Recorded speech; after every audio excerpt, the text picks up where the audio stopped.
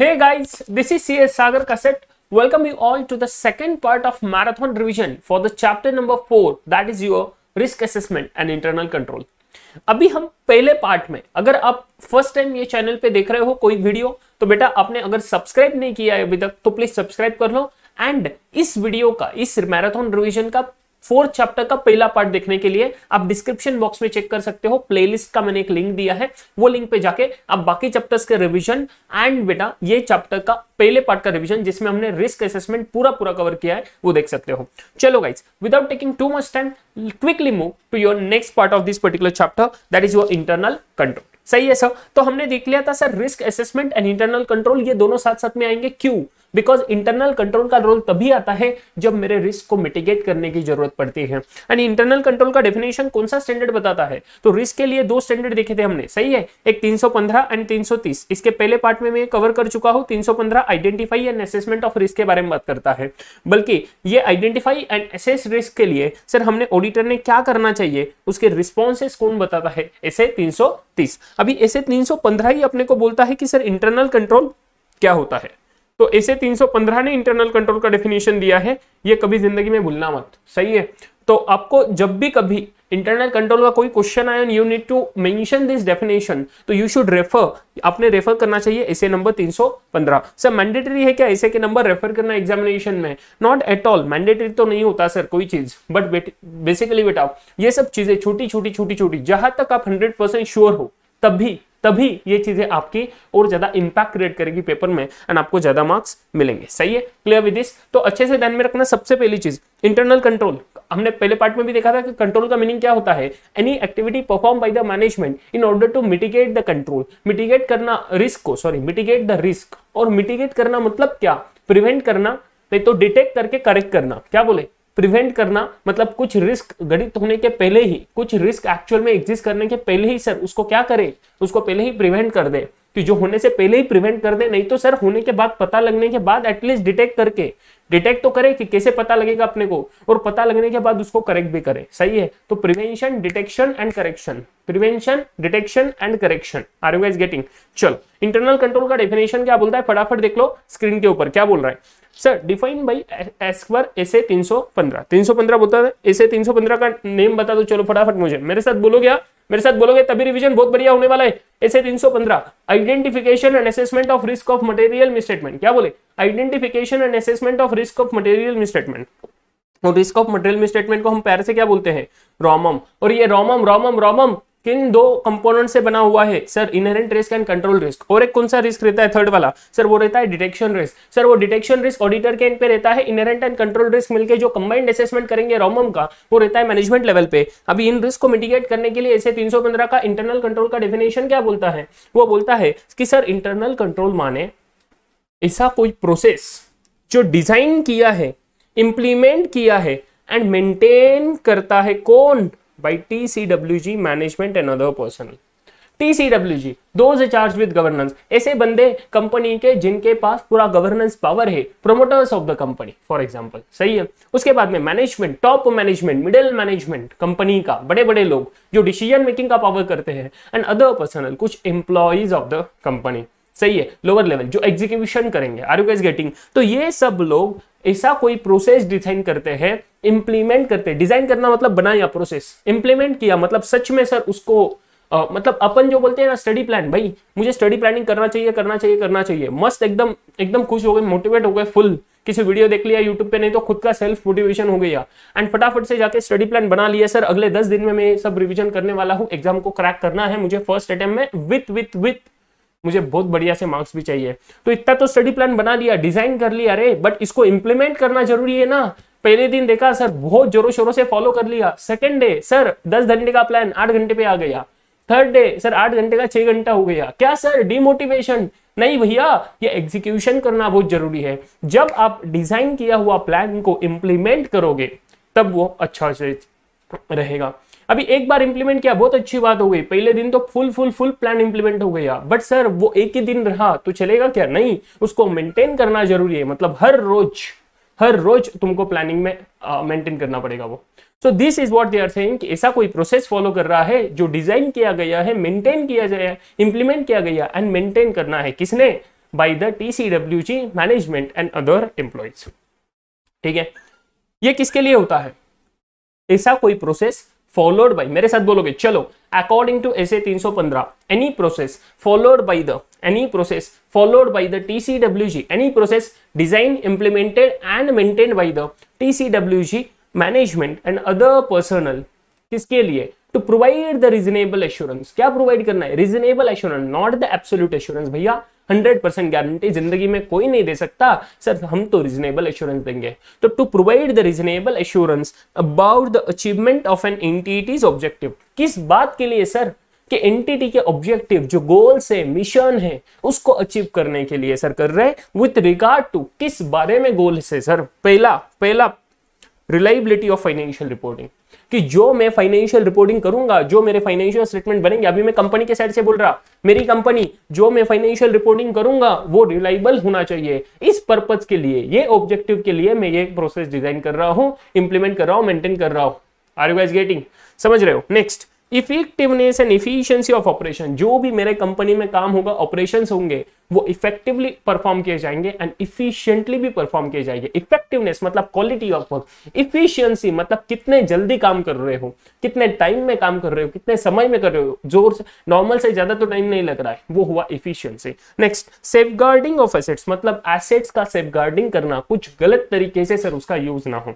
जिस पर्पज के लिए उसका यूज़ है, उसी पर्पज के लिए हो। इफेक्टिवली यूज़ हो इफिशियंटली यूज़ ऑफ़ एसेट्स हो। And next point compliance with laws and regulation and जो मेरे कंपनी के लिए लॉज एंड रेगुलेशन एप्लीकेबल है, उन सबको कंप्लाई करने के लिए। तो बेसिकली चार पर्पज मेरे साथ फटाफट फटाफट बोलोगे। अकॉर्डिंग टू एसे तीन internal control is the process, is the process that is designed, implemented and maintained by the tcwg management and other personnel.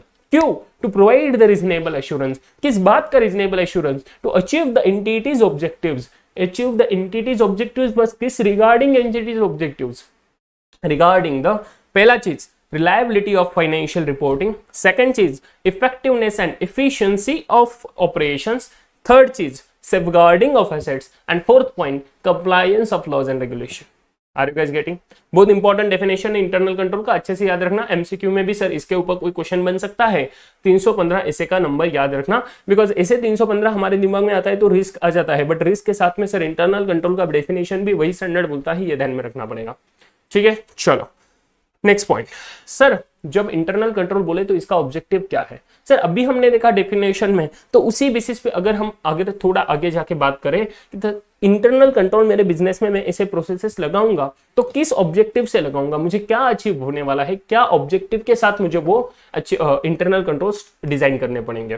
पहला पहला ऑब्जेक्टिव मैनेजमेंट का general and special authorisation very important चीज़ जब मैं internal control बोला तो भाई, जब जब जो जो जो मेरे बिज़नेस में ट्रांजेक्शन एग्जीक्यूट होंगे, वो सभी ट्रांजेक्शन के लिए आइदर मैनेजमेंट का जनरल अप्रूवल होना चाहिए, नहीं तो सर स्पेशल अप्रूवल होना चाहिए। General and special authorisation approval मतलब क्या? जनरल मतलब सर डेली बेसिस पे मैंने बोल चुका हूँ कि रेवेन्यू का ट्रांजैक्शन ये एक बंदा है, ये बंदा अप्रूव करेगा, बस खत्म। Authorisation of performing revenue transactions or accounting of the revenue transaction with one of the personnel एक एम्प्लॉय को मैंने रिस्पॉन्सिबिलिटी दे दिया जनरल ऑथोराइजेशन दे दिया कि भाई तू सब रेवेन्यू की एंट्रीज करेगा। बट उसी के साथ एक कंडीशन डाल दिया कि अगर रेवेन्यू का एक ट्रांजैक्शन का अमाउंट मेरे दस लाख के ऊपर चला जाए तो तेरे अप्रूवल के बाद और एक स्पेशल अप्रूवल लगेगा। स्पेशल ऑथोराइजेशन रहेगा कि तेरे ऊपर के बंदे को सीनियर बंदे को, उसको बोले special authorization in specified cases समझे? तो पहली चीज़, जब भी मैं इंटरनल कंट्रोल मेरे बिज़नेस में डिज़ाइन करूँगा इंप्लीमेंट करने के लिए मेंटेन करने के लिए, भैया उस इंटरनल कंट्रोल में मैं पहला चीज़ इंप्लीमेंट करूँगा ऑब्जेक्टिव इंप्लीमेंट करूँगा। क्या? कि management general and special authorization for execution of transaction very important cheese. Because अगर ये नहीं हुआ भैया तो फ्रॉड होने का चांसेस बहुत ज़्यादा है। कोई भी बंदा आएगा रेवेन्यू का एंट्री करके जाएगा, ऐसा थोड़ी ना चलेगा। नहीं सर कोई जनरल स्पेसिफाइड पर्सन रहेंगे, वही सर उसकी एंट्रीज कर पाएँगे अपने इसमें। क्लियर विद दिस एकदम अच्छे से समझ गए आपको? है ना? चलो।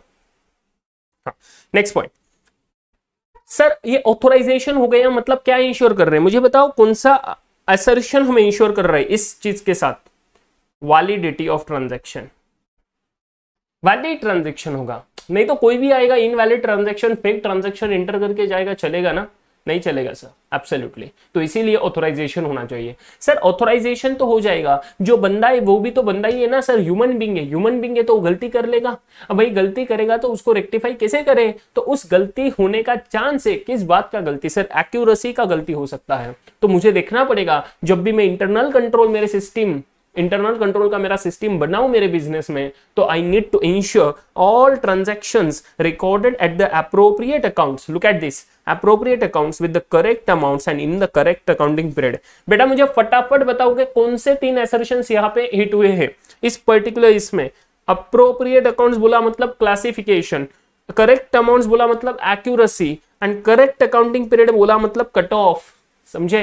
तो पहले वैलिडिटी इंश्योर करना इंटरनल कंट्रोल्स बनाते समय। सेकंड चीज़, मुझे तीन और एसर्शन इंश्योर करने पहला classification of transaction second correct amount मतलब account accuracy of transaction and third correct accounting period में वो बुक होना चाहिए मतलब cut off assertion are you guess getting within a framework of applicable F R accounting policies की जो भी recognise accounting policies है, जो भी एप्लीकेबल फाइनेंशियल रिपोर्टिंग फ्रेमवर्क मेरे इंटिटी को एप्लीकेबल है, उसके हिसाब से जो अमाउंट होना चाहिए, जो पीरियड होना चाहिए एंड जो अकाउंट होना चाहिए, ये सब सही होना चाहिए। ये मैं इंश्योर करूँगा थ्रू माई इंटरनल कंट्रोल इसका, ये मेरा ऑब्जेक्टिव रहेगा। Perfect Third objective, assets are safeguarded from the unauthorized access, use or a disposition. कि जो भी मेरे बिज़नेस के एसेट्स है भाई ट्रांजैक्शन का इंश्योर कर लिया अपने मेजर सभी एसर्शंस अभी सर हम इंश्योर करेंगे कि जो भी मेरे एसेट्स है बिज़नेस के उसका सही तरीके से यूज़ हुआ है। सो दोज आर सेफगार्डेड उसका कोई सर झोल नहीं हो रहा है। तो सेफगार्डेड फ्रॉम व्हाट पहला अनऑथोराइज एक्सेस कि वो एसेट कोई बंदा, ऐसा बंदा है जिसको मैंने अथॉरिटी दिया है, वही बंदा यूज़ कर पाएगा, वही बंदे को एक्सेस रहेगा, कोई और नहीं यूज़ कर पाएगा। Third second use of that and disposition वो एसेट को कोई सर सेल कर देना है तो जो बंदे को डिस्पोज ऑफ़ करने का राइट है, वही बंदा कर पाएगा। And fourth cheese physical verification of assets at reasonable intervals मुझे बोलो, जब मुझे एसेट्स का सेफगार्डिंग करना इंश्योर है तो इसके आगे जाके मैं देखूँगा कि सच में हुआ या नहीं। तो इसीलिए I should have the control कि भाई मैं चेक कर लू कि मैं कुछ पीरियड पे, कुछ रीजनेबल इंटरवल पे मैं सच में जाके देख लू फिजिकली वेरीफाई कर लू कि मेरे एसेट सही है या नहीं है। क्लियर विद दिस तो ये चार पॉइंट्स बहुत अच्छे से याद रखना बेटा ऑब्जेक्टिव्स ऑफ़ इंटरनल कंट्रोल में। सबसे पहला पॉइंट मेरे साथ बोलोगे, चलो management general and special authorization for the execution of the transaction next point ये कौन सा एसर्शन इंश्योर करता है? पहला validity second sir all the transaction are recorded at the correct amount with correct account and correct in the correct accounting period मतलब तीन assertion sir correct amount बोला तो एक्यूरेसी करेक्ट अकाउंटिंग पीरियड बोला। मतलब sir क्या हुआ? In the correct accounting period cut off and sir with the correct account in the correct account मतलब sir classification सही है? Within a framework of applicable financial reporting framework and applicable accounting policies उसके बाद में third point assets are safeguarded from the disposition use and sir क्या unauthorized access. Access. And last point sir physical verification of assets कुछ reasonable time period पे मुझे interval पे करना पड़ेगा। सो so, ताकि मैं ये सब चीज़ें इंश्योर कर पाऊँ। ये चार ऑब्जेक्टिव्स के साथ मैं मेरे इंटरनल कंट्रोल्स बनाऊँगा। कौन किसके साइड से बात कर रहे हैं ये सब चीज़ें? बोलो मुझे। ये सब चीज़ें बात हो रही सर मैनेजमेंट साइड से। ये इंटरनल कंट्रोल्स बनाएगा कौन? मैनेजमेंट तो मैनेजमेंट ने ये चार ऑब्जेक्टिव इंश्योर करने हैं। सही है मैनेजमेंट के चार ऑब्जेक्टिव रहेंगे। अभी अपने को देखना है मैनेजमेंट ने यही ऑब्जेक्टिव के साथ बनाया क्या? अगर नहीं बनाए कोई भी ऑब्जेक्टिव इसमें से मिसिंग है तो वो अपने लिए रिस्क बन जाएगा। सही है ऑडिट में। और वो रिस्क को इंश्योर करने के लिए अपने को मैनेजमेंट से इंक्वायरी करना पड़ेगा पूछना पड़ेगा कि सर ये रिस्क इंश्योर कर, कैसे करते हो आप लोग? कैसे इसके ऊपर आपका कंट्रोल है? सही है क्लियर विद दिस चलो नेक्स्ट सर इंटरनल कंट्रोल बढ़िया हो गई। अपने को समझ गया सर इंटरनल कंट्रोल से बहुत अच्छी चीज़ होगी। बट इंटरनल कंट्रोल पढ़ते समय हमने डेफिनेशन तीन से पंद्रह का क्या बोला? सेकंड लाइन सर ये तो एक प्रोसीजर होता है। पहला लाइन क्या बोला? प्रोसीजर होता है। जो डिज़ाइन करेगा इंप्लीमेंट करेगा मेंटेन करेगा DCW management and other personal second point क्या बोला था? बोलो मुझे to obtain the reasonable assurance to provide the reasonable assurance sir reasonable बोला मतलब एब्सोल्यूट नहीं मतलब हंड्रेड परसेंट नहीं। क्यों हंड्रेड परसेंट एश्योरेंस नहीं दे सकते सर क्या ज़िंदगी में प्रॉब्लम है कि हंड्रेड परसेंट एश्योरेंस नहीं दे सकते? तो मैंने बोल दिया, बच्चा टेंशन मत ले, क्यों नहीं दे सकते? मैं बताता हूँ तुझे, उसका रीजन है लिमिटेशन ऑफ़ इंटरनल कंट्रोल नीचे तो नेक्स्ट पॉइंट पढ़ेंगे very very important question for the examination perspective mark this as a BE R mark कर दो इसको B E R limitation of internal control कि क्या लिमिटेशन है सर इंटरनल कंट्रोल के, जिसके वजह से we can not provide the company can not provide the hundred percent reasonable absolute assurance और ऑडिटर क्यों hundred percent absolute assurance control के टेस्टिंग पे भी नहीं प्रोवाइड कर सकता? वट इज़ द इश्यू तो वो है limitation of internal control sir कितने भी आप इंटरनल कंट्रोल्स बना दो it will provide you only reasonable assurance IC can provide only reasonable assurance ये सबसे बड़ा सर अपना इश्यू है. उसके बाद में सर क्यों ऐसा हो सकता है? बिकॉज़ कंट्रोल्स परफॉर्म करने वाला भी कौन है भैया? ह्यूमन बिंग है. तो ह्यूमन एरर पॉसिबल है. सेकेंड कंट्रोल जब परफॉर्म करेंगे तब कुछ जजमेंट लेंगे. जब डिज़ाइन करेंगे तब अपने सोच पे. तो अलग अलग बंदा अलग अलग सोचता है. और अलग अलग बंदा जब अलग अलग सोचता है तो हर एक का जजमेंट अलग रहेगा। तो ह्यूमन जजमेंट है sir human judgement in decision making वो फॉल्टी हो सकता है एरर्स हो सकता है। एक ने जो सोचा, वो उसके एक्सपीरियंस के बेसिस पे। उससे दस साल ज़्यादा एक्सपीरियंस वाला बंदा अगर बोलता है कि भाई ये चीज़ है तो इन दैट केस उसका एक्सपीरियंस मैटर करता है ना। तो इसीलिए क्या बोले, सर, ये फॉल्टी और एरर इन जजमेंट्स हो सकते हैं. एंड दैट्स वाई ये सर इंटरनल कंट्रोल अपना सिर्फ़ रिजनेबल एश्योरेंस प्रोवाइड करेगा। पहला पॉइंट हमने देखा एंड सेकेंड पॉइंट हमने देखा कि, सर ह्यूमन जजमेंट इन्वॉल्व होता है। Clear with this in decision making third cheese lack of understanding the purpose very very important point भाई, जो बंदा ये इंटरनल कंट्रोल को स्टैब्लिश कर रहा है, सही है? मुझे, मेरा कंपनी है। अभी मुझे इंटरनल कंट्रोल सेटअप करना है मेरे बिज़नेस में। बट भाई, मुझे पर्पज ही नहीं पता। मैं इंटरनल कंट्रोल का प्रोसेस बना रहा हूँ कि ऐसा ऐसा होना चाहिए। बट मुझे पर्पज ही नहीं पता कि this is what my purpose उसका मुझे पूरा अंडरस्टैंडिंग ही नहीं है। हंड्रेड परसेंट नहीं है। मुझे थोड़ा थोड़ा पता है। भाई थोड़ा थोड़ा पता रहने से पूरा प्रोसेस कैसे अच्छे से डिज़ाइन कर पाएगा? नहीं। तो इन दैट केस अगर lack of understanding of purpose है because ineffective use of exception reports by a person वो reviews those reports without understanding its purpose very important thing क्या बोले? इसका एक एग्ज़ाम्पल ले लो। बहुत इंपॉर्टेंट चीज़ है। आपको बन सकता है केस सिनारियो फॉर्म में। ये थर्ड वाला पॉइंट बहुत इंपॉर्टेंट है। मैंने बोला सर मेरे इसमें एक रिपोर्ट निकलता है सिस्टम से। ये मेरा सिस्टम है। ये मेरे सिस्टम से कोई रिपोर्ट निकलता है बेटा? जिसका नाम मैंने बोला कुछ आ, सर एक्सेप्शन रिपोर्ट सही है? अभी मैंने बोला एक मैन्युफैक्चरिंग कंपनी है जहाँ पे कोई एक रिपोर्ट निकलता है एबीसी ओके? और ये एबीसी रिपोर्ट मुझे बताता है कि सिस्टम में को क्या क्या ऐसे एरर्स है जो सिस्टम आइडेंटिफाई करता है? एरर्स आइडेंटिफाइड बाय सिस्टम ऐसा होता है सर सिस्टम ही एरर आइडेंटिफाई करेगा? यस होता है कई सारी जगह पे. Errors identified by system because cross checking रहेगा ना तो सिस्टम में भी क्रॉस चेक कंट्रोल्स रहेंगे. अगर सिस्टम में क्रॉस चेक नहीं हो पाया तो एरर देगा सिस्टम अपने को एक रिपोर्ट के थ्रू एंड डेली बेसिस पे मैं एक रिपोर्ट जनरेट करूँगा और वो रिपोर्ट में मुझे एरर्स पता चलेंगे कि ऐसे ऐसे इतने इतने ट्रांजेक्शन में एरर्स मिले. समझ रहे हो। और ये मैंने देखा है मैन्युफैक्चरिंग कंपनी में, होता है एक ऐसा रिपोर्ट ओके एक जगह पे मैंने देखा था मैन्युफैक्चरिंग कंपनी में ऑडिट करते समय। और वो रिपोर्ट का यूज़ भी होता है भैया, बहुत इंपॉर्टेंट रिपोर्ट होता है जो प्रोडक्शन लाइन पे अपने कुछ एरर्स होते हैं कंजम्पशन ऑफ़ इन्वेंट्री का तो उसके रिगार्डिंग एरर देता था। तो अभी समझ लो, भाई ये एरर्स तो मिल गए इस सिस्टम की, इस रिपोर्ट से बट अपने को समझ ही नहीं रहे यार। कि सिस्टम का रिपोर्ट क्या क्या बोलना चाहता है? अभी जो बंदा इस रिपोर्ट का यूज़ कर रहा है, वो बंदे को पता ही नहीं कि ये इसमें जो बोला है, इसका मतलब क्या होता है। So if he is not able to understand this report properly तो how he will be able to actually execute certain things in order to control that errors तो इसमें से जो एरर्स पता चले, उसको सर वो कैसे कंट्रोल कर पाएगा? अगर उसको रिपोर्ट ही नहीं समझता तो इन दैट केस सर अपने कंट्रोल में कुछ तो जो हो गया। फिट करते समय। सही है ना? तो this lack of understanding of the control purpose and second thing because of the exception report का लैक ऑफ़ अंडरस्टैंडिंग तो lack of understanding ineffective use of exception reports by the person who reviews those reports देखो, जो बंदा, यहाँ पे एक बंदा है, जो ये बंदा इसका रिपोर्ट का रिव्यू कर रहा है, उसको इनफेक्टिव यूज़ हो रहा है सर मतलब वो इफेक्टिवली यूज़ नहीं कर पा रहा है रिपोर्ट को अच्छे से यूज़ नहीं कर पा रहा बिकॉज़ उसको रिपोर्ट का हंड्रेड परसेंट ज्ञान ही नहीं है। तो यहाँ पे सर मेरा इंटरनल कंट्रोल यहाँ पे इंटरनल कंट्रोल है ना? कि ये रिपोर्ट ये बंदा रिव्यू करेगा, उसके बाद में रिपोर्टिंग करेगा किसी और बंदे को। अगर मैं बोलूँ, ये बंदा ही अच्छे से अंडरस्टैंड नहीं कर पाता तो क्या खाक वो रिपोर्टिंग करेगा? और जो वो रिपोर्टिंग करेगा, वो कंप्लीट होगा एक्यूरेट होगा इस बात की क्या गारंटी और ये गारंटी नहीं है, इसीलिए तो वो लिमिटेशन बनता है। समझे? ये गारंटी नहीं है, इसीलिए लिमिटेशन बनता है। नेक्स्ट पॉइंट सर जब मैंने बोला कि इंटरनल कंट्रोल बहुत बढ़िया बात है सर इंटरनल कंट्रोल के लिए मैंने सेग्रीगेशन ऑफ़ ड्यूटी रखना चाहिए। सेग्रीगेशन ऑफ़ ड्यूटी क्यों रखते हैं? Because sir segregation of duty क्या होता है? सबसे पहले समझ लो। काफ़ी सारे बच्चों को कंफ्यूजन रहता है segregation of duty SOD and maker checker system में। मेकर चेकर में। तो सेग्रीगेशन ऑफ़ ड्यूटी मतलब सिंपल सी बात है सर मेरा एक प्रोसेस है रेवेन्यू का। ओके सेल्स ऑर्डर से शुरू होगा दिन इन्वॉइसिंग बनेगा। रुको दो मिनट। मेरा एक प्रोसेस है रेवेन्यू का, उसके बाद में क्या होता है देखो, सबसे पहले मेरा कस्टमर से परचेस ऑर्डर आता है देन उसके बेसिस पे मेरा सेल्स ऑर्डर बनता है। देन सर मैं इन्वॉइसिंग करूँगा देन डिस्पैच होगा एंड रिसीट आएगा। डिस्पैच इन्वॉइस में साथ में ही लेता हूँ। जब डिस्पैच करेंगे, तभी इन्वॉइसिंग बनेगा एंड देन सर मेरा क्या हुआ? रिसीट आएगा।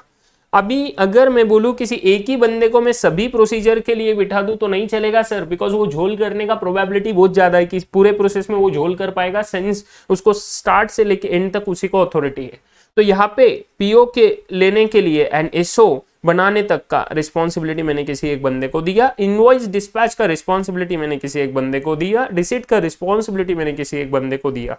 तो पूरे प्रोसेस का duty I have segregated between this three people इसको बोलते हैं segregation of duty very very important control in order to minimise the risk of fraud fraud का रिस्क कम करने के लिए भैया ये कंट्रोल काफ़ी ज़्यादा इंपॉर्टेंट होता है सेग्रीगेशन ऑफ़ ड्यूटी का. तो यहाँ पे क्या हुआ? अभी देखो, इसके बाद में क्या हो सकता है? मैंने बोला, मैंने सेग्रीगेशन ऑफ़ ड्यूटी क्या है? ये तो एक कंट्रोल हो गया। सही है? मैं आपको मेकर चेकर बोलता हूँ, दो मिनट रुको। मैंने बोला कि सेग्रीगेशन ऑफ़ ड्यूटी एक मैंने कंट्रोल बिठाया कि मैंने रिस्क को मिटिगेट करने के लिए कंट्रोल रखा, सबको अलग अलग रिस्पॉन्सिबिलिटी दिया, सब अलग अलग बंदे लगाए। बट भाई, अगर ये बंदा इससे बात करे, ये बंदा इसको लालच दे और सब जन मिलके अगर कोल्यूजन करे कोल्यूजन अमंग पीपल तो पॉसिबल है ना अभी भी? तो ये कंट्रोल भी सर पॉसिबल है, ये कंट्रोल भी मिस होना पॉसिबल है। क्यों collusion among people will lead to this risk and यही सर पॉसिबिलिटी है। तो इसी वजह से मेरा नेक्स्ट लिमिटेशन बन जाता है collusion among people due to inappropriate management override of internal control सही है? Inappropriate management override of internal control समझे? Clear with this next sir, ये मेकर चेकर क्या होता है? दो मिनट के लिए समझ लो। सेग्रीगेशन ऑफ़ ड्यूटी में क्या हुआ कि एक प्रोसेस में अलग अलग बंदे को अलग अलग रिस्पॉन्सिबिलिटी दिया, पूरे प्रोसेस का रिस्पॉन्सिबिलिटी एक बंदे को नहीं दिया।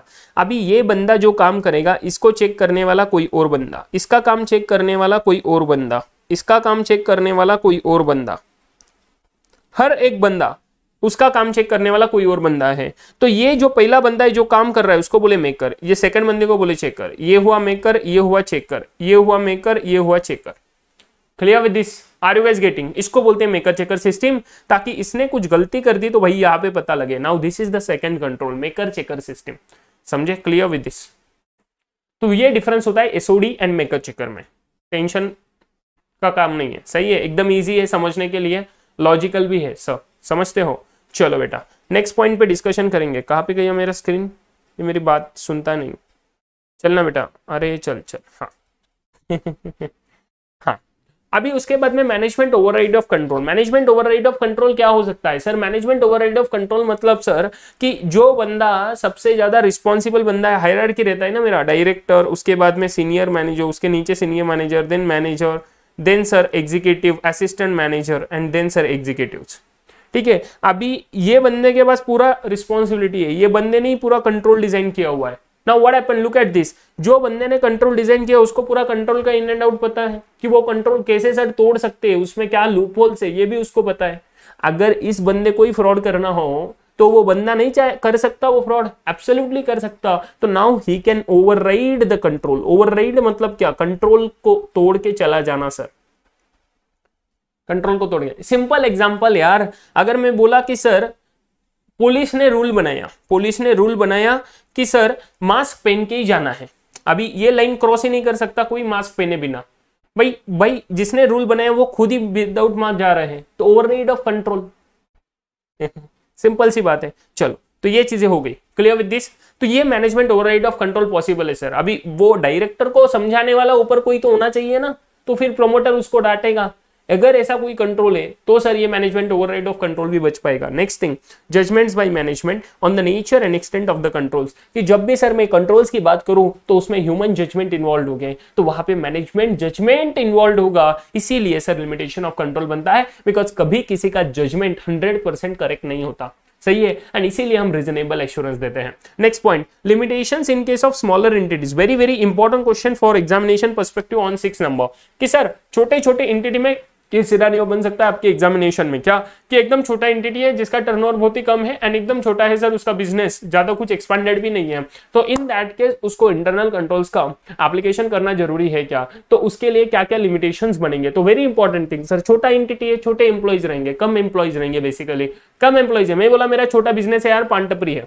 पान टपरी के इसमें मैं बोला, थोड़ा बड़ा है। चलो मान लो, एवले चाह। एवले चाह एक फ़ेमस ब्रांड है ना, चाय का। मैंने बोला कि ये जो भैया चाय का इसमें है तो मेरे इसमें मान लो दस एम्प्लॉयज़ है सिर्फ़। अभी दस एम्प्लॉयज़ के बीच में मैं कैसे पूरा प्रोसेस बिठा सकता हूँ? छोटा एक जनरल स्टोर है या किराना का शॉप है, उसमें दस बारह एम्प्लॉयज़ है। How can I make the controls very much strong in छोटे एम्प्लॉयज़ कम एम्प्लॉयज़ के केस में? नहीं कर सकता। बिकॉज़ सर यही तो इश्यूज़ है limitation of control few employees होते हैं। Segregation of duties is difficult and not practicable एक प्रोसेस को मैं दस दस बंदे नहीं लगा सकता, एक प्रोसेस को मैं चार बंदे नहीं लगा सकता, सर, यहाँ पे डिफिकल्टी हो जाएगा, यहाँ पर एक ही बंदा पूरा काम करेगा। तो इसीलिए यहाँ पे सेग्रीगेशन ऑफ़ ड्यूटी पॉसिबल नहीं है, मुझे प्रैक्टिकेबल भी नहीं है फ्यू एम्प्लॉयज़ रहेंगे तो this is what limitation of internal control very important question काफ़ी टाइम ले लिया because this is very important question समझ लिए? यहाँ पे मैंने बोला थर्ड पॉइंट पे केस सिनारियो बन सकता है सिक्स पॉइंट पे केस सिनारियो बन सकता है, समझे? बाकी फिर फोर्थ पॉइंट पे भी बन सकता है कोल्यूजन अमंग पीपल बट वो थोड़ा एडवांस लेवल का केस सिनारियो हो जाएगा तो मैं नहीं बोला। बट ठीक है, आपको कॉन्सेप्ट समझ गया। इवन इफ़ केस सिनारियो पूछ ले कोई भी पॉइंट पे तो भी you can able you are able to now answer this question ठीक है, समझ गए लिमिटेशन ऑफ़ इंटरनल कंट्रोल अभी अच्छे से समझ लो नेक्स्ट पॉइंट क्या बोलता है?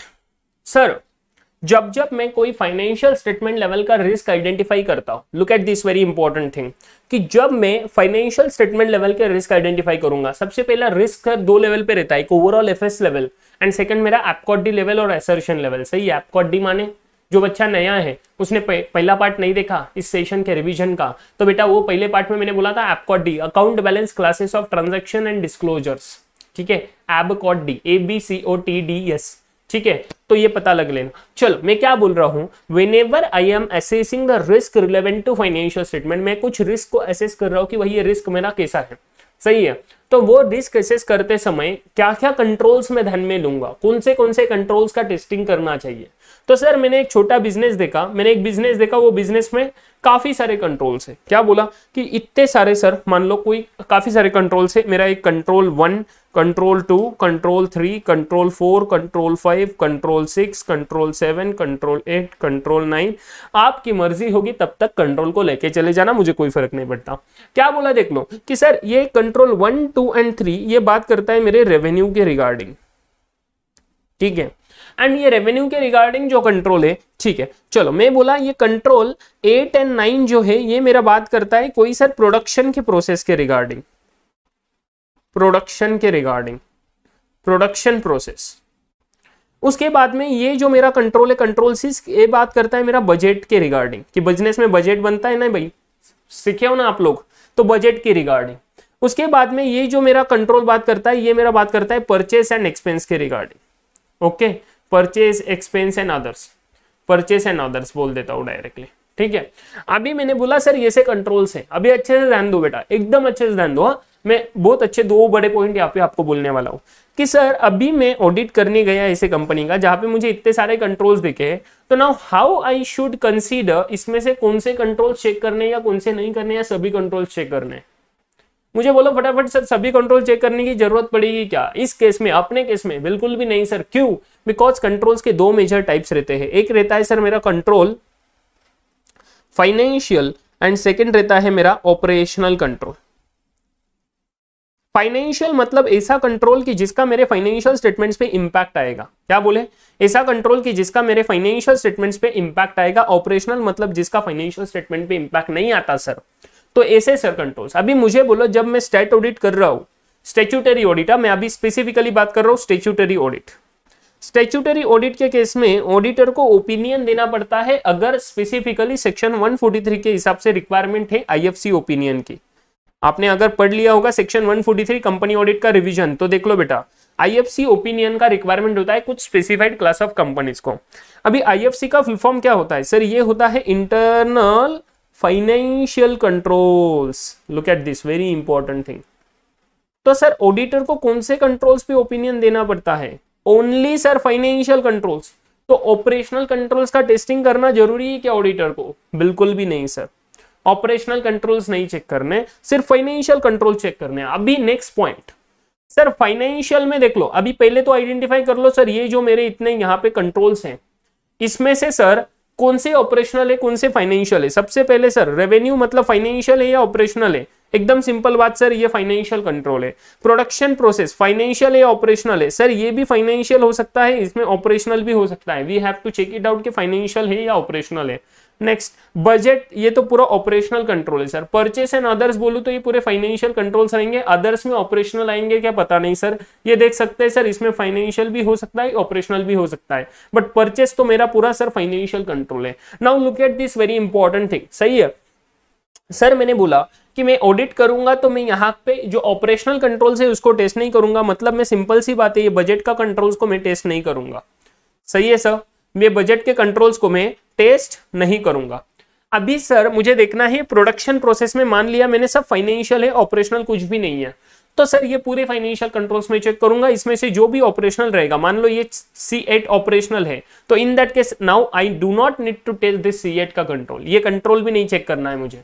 मुझे सिर्फ़ सी नाइन करना पड़ेगा सी एट का ज़रूरत नहीं है। समझे? अभी मुझे नेक्स्ट बात करनी है। सर, इतने सारे कंट्रोल्स में कैसे चेक कर लू? फाइनेंशियल्स में भी काफ़ी सारे कंट्रोल्स है। चलेगा भैया। अभी look at this very important thing भाई इतना बड़ा एग्ज़ाम्पल क्यों दे रहा है? इसका रिलेवेंस समझ लो बिकॉज़ इसके ऊपर केस सिनारियो बनेगा। अगर एडवांस क्वेश्चन पूछ ले तो इसके ऊपर केस सिनारियो बनेगा। नाउ लुक एट दिस ये जो मेरा रेवेन्यू का कंट्रोल है, ये बात करता है एक्यूरेसी के रिस्क के लिए।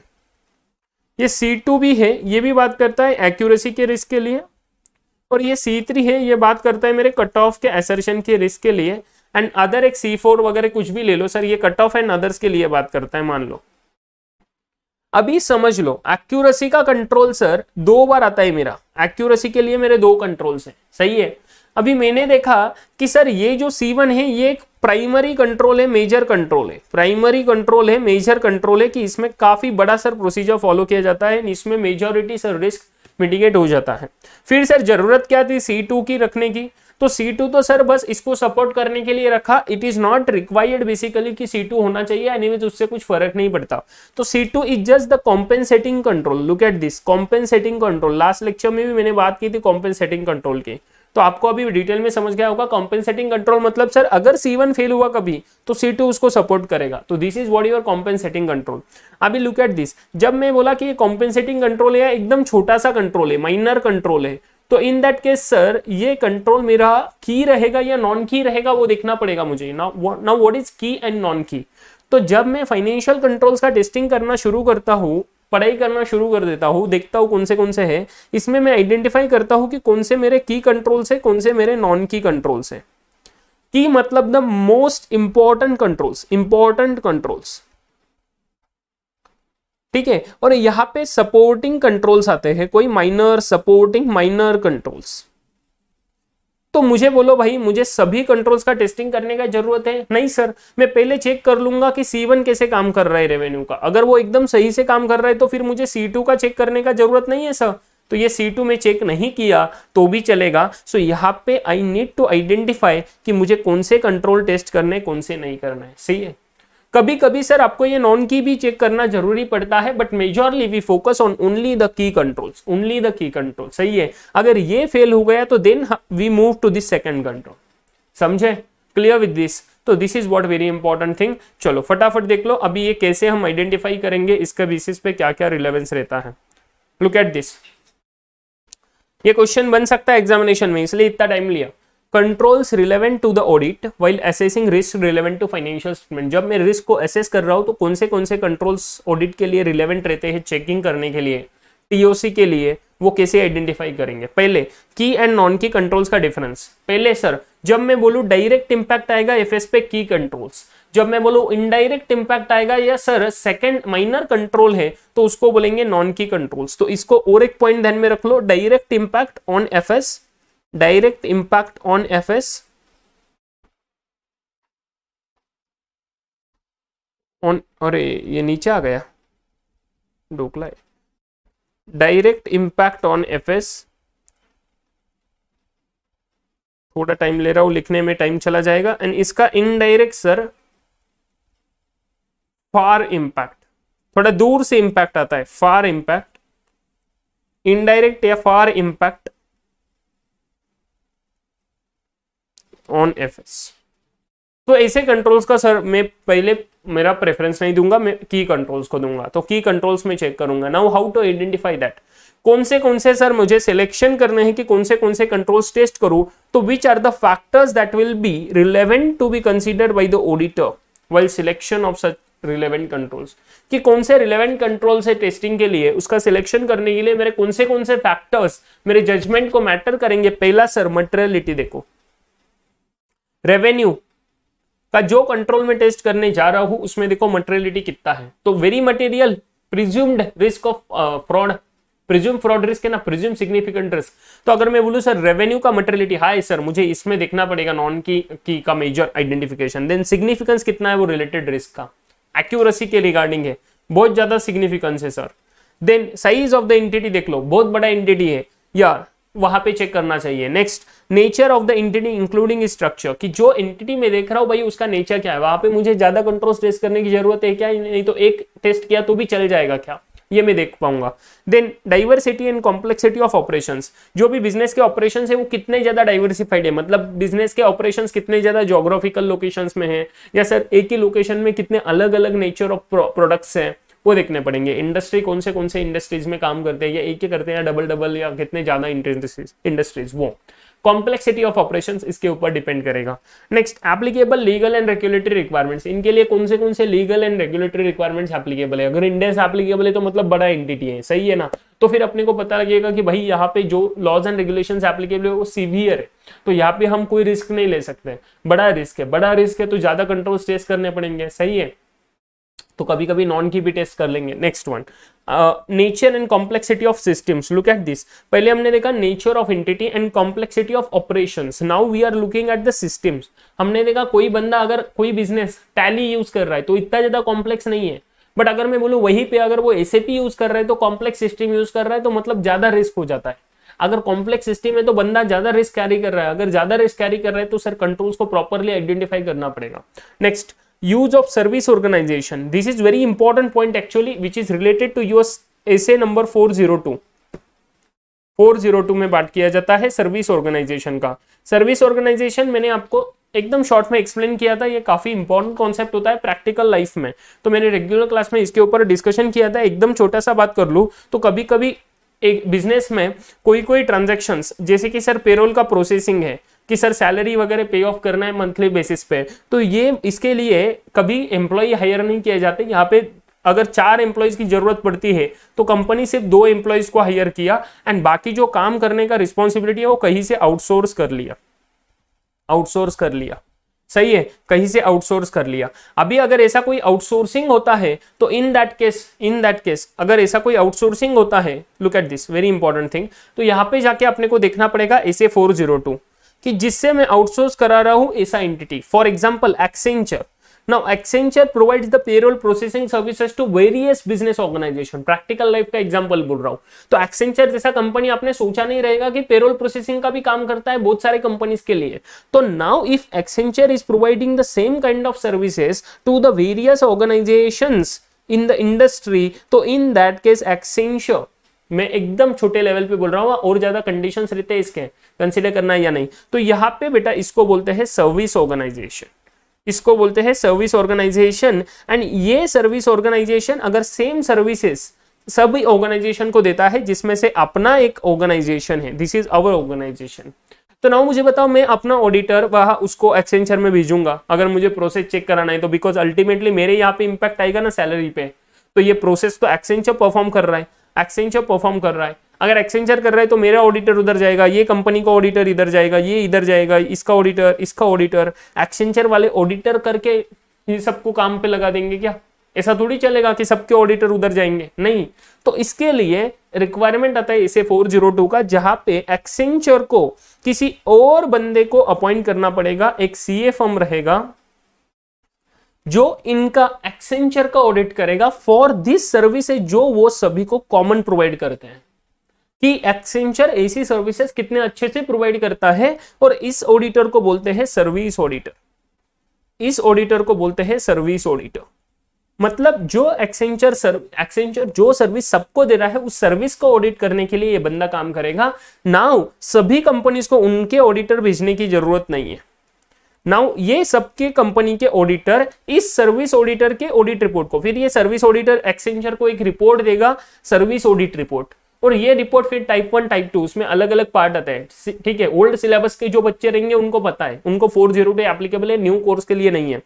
तो जब मैं यहाँ पे बोलूँ कि ये ऑडिट रिपोर्ट देगा तो now this audit report will be used by every auditor of such companies for the purpose of testing this payroll process समझ गए?